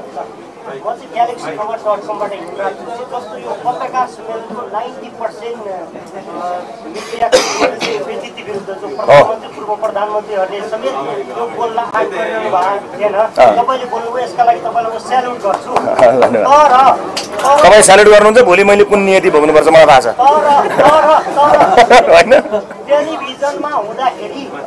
र टेलिभिजनबाट बाहिर गइसकेपछि तपाईँले समेत बार्गेनिङ करोडौँ रुपियाँ बार्गेनिङ गरेर राजनीतिमा आउनुभयो भन्ने आरोप छ। केही दुर्गा पट्टै लगायतहरूले भिडियो नै ल्याउने भनेर घोषणा भएको छ यो विषयमा बोल्नु लिएर आएर देखाउनुहोस्। आरोप आरोप छातीमा हात छातीमा हात मलाई त मलाई कुनै एउटा मान्छेले कुनै एकजना मान्छेले इतिहासको कुनै कालखण्डमा मैले कुनै चिज बार्गेनिङ गरेको देखाउन सकोस्। म अहिले यहाँबाट कटु पनि नलगाएर नाङ्गे निस्किनु तयार प्रमाण लिएर आउनुहोस्। प्रमाण लिएर आउनुहोस् प्रमाण। अब आरोप लगाउनलाई के म- म अमेरिका हुँदा बराक ओबामाले मेरो असी लाख जति पैसा खाइरहेको थियो। भन्ने नि अब? भन्नलाई केही ठुलो कुरा होइन। प्रमाण ल्याउनु पऱ्यो नि। हस् नेक्स्ट चल। टिका छ समर्थन त छ होइन। अनि भोलिका दिनमा फेरि यो सरकारमा सामेल हुने सम्भावना भोलिका दिनमा सरकारमा सामेल हुने यस्तो हुन्छ सम्भावना छ छैन भन्दा पनि अहिलेको अहिले हामीले गरेको निर्णय भनेको यो सदाकालका लागि गरिएको निर्णय होइन। राजनीतिक अवस्था कस्तो रहन्छ भोलि यी हामीले भनेका कुराहरू कसरी अगाडि जान्छन्? संयुक्त रूपमा हामीले बाचा गरेका यो न्यूनतम साझा कार्यक्रम कसरी अगाडि बढ्छ? अहिले जुन एउटा देखिएको छ शीर्ष नेताहरू बिच अलिकति शीत युद्धको हो कि जस्तो वातावरण देखिएको छ यी सबै चिज सेटल भयो जस्ताको तस्तै हुन सक्यो काम गर्न पाइयो भने त राजनीति त काम गर्नका लागि आउने नै हो नि। त्यसमा हामी आउँदै आउँदैनौँ कहिले पनि आउने सम्भावना ढौका बन्द गरेको होइन। तर यो अवस्थामा चाहिँ हामीले अहिले डेलिभरी गर्न सक्दैनौँ। हेरौँ कसरी अगाडि जान्छ भनेर हामीले सजिलो पारिदिएका हौँ। हजुर। त्यो अहिले हामीले निर्णयमा त्यो पुगेका छैनौँ। त्यो निर्णयमा हामी अहिले पुगेका छैनौँ। त्यसको छलफल चलिरहेको छ। हामी त्यो त्यो निर्णयमा त्यतिखेरै गरौँ अहिले अहिले त्यसको लागि काङ्ग्रेसले समर्थन प्रधानमन्त्रीलाई समर्थन जनाएर पनि विपक्षमा बस्ने भनेको थियो र बस्यो पनि अहिले। हजुर। अब राष्ट्रिय स्वतन्त्र पार्टी समर्थन गरेर विपक्षमा बस्छ सत्तापक्षमा बस्छ? समर्थन गरेर विपक्षमा बस्यो नि। सरकारमा सहभागी नभएपछि त हामी विपक्षमा बसिहाल्यौँ नि। सरकारलाई समर्थन छ अहिलेलाई। अहिले हामी हेरौँ केही समयलाई हामी हेर्न सक्छौँ। अब अहिले सरकारले ढाल्नुपर्ने अवस्था छैन। सरकारबाट बाहिरिने बित्तिकै त समर्थन मात्र रहेर हामी विपक्षमा बस्छौँ।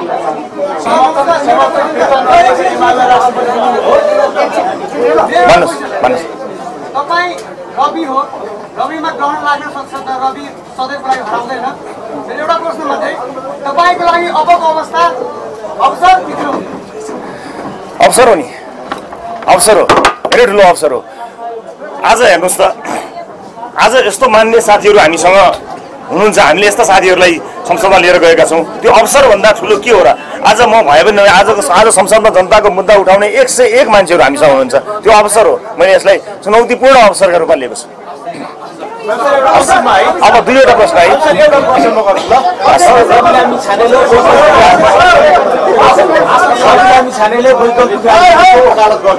बनाएको राजनीतिलाई विकल्प दिँदै थियो।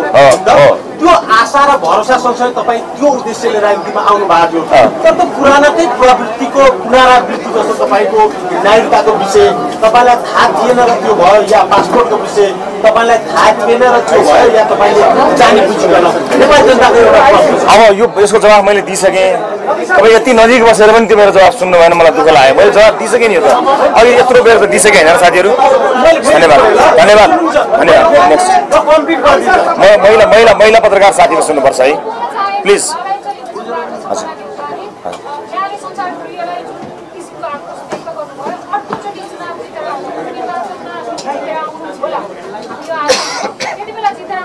संसार मन्त्रालय तपाईँ माग्ने कि नमाग्ने तपाईँले अङ्कुश लगाउने बेला त्यति बेला हुन्छ नि। त्यसपछि अर्को कुरा भन्न चाहे अरू बेला नारीका बा नारीका भएको हुनुहुन्थ्यो। यसपालि देउवालाई मात्र तपाईँले आक्रोश व्यक्त गर्नुभयो। गगन थापाको नाम मात्रै लिनुभयो केपी शर्मा ओली र प्रधानमन्त्री पुष्पकमल दाहाल प्रचण्डको बारेमा यहाँले केही शब्द पनि निकाल्नु यस्तै किसिमका राजनीतिज्ञ हो उहाँहरू प्रतिको झुकाव अलिक धेरै सुनिएको जस्तो लाग्यो। आज उहाँको नाम आएर एउटा कुरा तपाईँले अहिले मैले गरेको यसलाई रिभाइज गरेर फेरि युट्युबमा कहीँ त छ होला हेर्नु होला मैले कहाँ शेरबहादुर देउवाको विरुद्ध बोलेर मैले बोलिनँ नि। प्रसङ्ग जोड्दा निस्किएको नाम भनेको विरोध गरेको होइन मैले गरेको छैन। मैले कसैको पनि विरोध गरेको छैन। मैले हिजो हामीले हिजो पुराना राजनीतिक दलभन्दा हामी अलग ढङ्गले आउँछौँ भन्नको लागि रा- दलमा गएका हौँ। बिस सिट हामीले प्राप्त हामीले प्राप्त मतका आधारमा नै राजनीति गर्ने हो। नपाएकै मतमा त हाम्रो अधिकारै रहेन। त्यो हामी कायम छौँ नि। पुरानो जुन व्यथिति छ त्यसका विरुद्ध हामीले गर्ने चिजलाई त कायम छ। बल्ल बिस सिटमा हामी आयौँ। अझ अगाडि हामी जान्छौँ। त्यसमा कायम छ। मैले कसैप्रति कटाक्ष आज गरेको छैन। अलिकति तपाईँलाई त्यसमा अप्ठ्यारो परेछ। बाँकी सञ्चार मन्त्रालय लिने नलिने भन्ने कुरा भोलि हामीले नै सरकार बनाउने हदमा गयो भने त सञ्चार मन्त्रालय कसरी छोड्छौँ हामी त्यो पनि हाम्रो मन्त्रालय अन्तर्गत पर्छ। मैले यो आक्रोश अलिकति अब कसैले नि आँट गर्दैनन् क्या कहिले पनि? आँट नगरेपछि एउटा आँट गरौँ कि भनेर मैले भनेको मात्र हो। मैले यहाँलाई अब त्यसको परिणाम त मैले ठुलो भोग्नुपर्छ मलाई तयार छ। अब जिन्दगीभरि यसलाई मन्त्री बनाउनु नबनाउने लबिङ पनि सुरु हुन्छ होला। केही फरक पर्दैन। यो देश बन्छ भने मन नबनेर केही फरक सर पर्दैन। मैले अहिलेको प्रश्नलाई कम्प्लिट गरेँ क्या। तपाईँ चाहिँ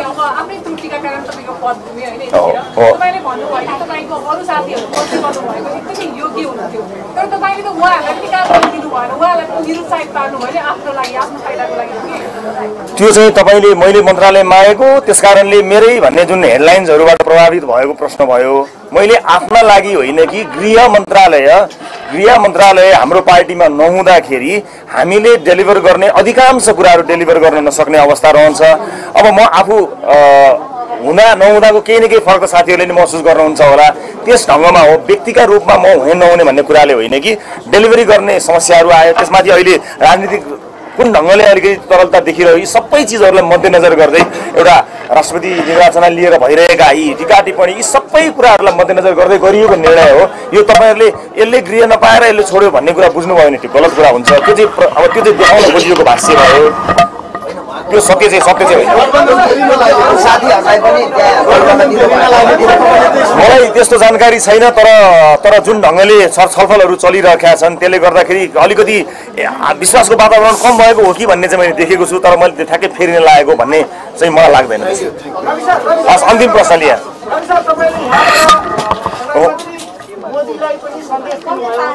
बिचौलियाहरूको बिचमा नपर्नुहोस् भनेर यसको मतलब तपाईँ गृह मन्त्रालय सम्हाल्नेदेखि तपाईँले थाहा पाउनुभयो यो देशमा रहेका पार्टीहरूले देश चलाएको रहेछ। अरू व्यक्तिले देश चलाएको रहेछ भन्ने कुराको सन्देश हो। मैले जे भने म त्यसको लागि जिम्मेवार छु। तपाईँले के बुझ्नुभयो म त्यसको लागि जिम्मेवार छैन। I'm responsible for what I said I'm not responsible for what you understood उहाँले भन्नुभएको छ नि उहाँहरूले यस्तो गरिरहेको छ डराउँछन् नेताहरू डराउँछन् पर्खिन्छन् भनेको मिडियासँग त तर्सिन्छन् साथो यो मैले भनेको कुरा अलिकति आँटिलो गोकुल बासकोटा छन् है। मैले मैले उनलाई एउटा विषयमा कटाक्ष गरेको पनि छु फेरि तारिफ पनि गरेको छु। त्यो गर्नु पनि पर्थ्यो। अलिकति आँटिलो गोकुल बासकोटा छन् है। फेरि गोकुलको तारिफ गर्यो भनेर फेरि अर्को जाओला। तर अलिकति आँटिलो छन्। गोकुलजीलाई एकपल्ट कुनै दिन उहाँलाई मुड चलेछ भने उहाँले पनि आँट गर्नुभएछ भने मैले भनेको कुरा हो कि होइन भनेर गोकुल बास्पराजीलाई सोध्नु होला। यद्यपि उहाँको काण्डमा मैले उहाँको कटाक्ष गरेको हुँ। विषयमा गर्ने हो गोकुलको पछि लाग्यो होइन नि त। त्यो विषय आएको थियो त्यसमा कुराकानी गरिएको थियो। तर यो साहस उहाँले गरेको छन्। तर त्यसो पर्टिकुलर यो भएर त्यो भएर भन्ने होइन। दोहोऱ्याउन मिल्दैन।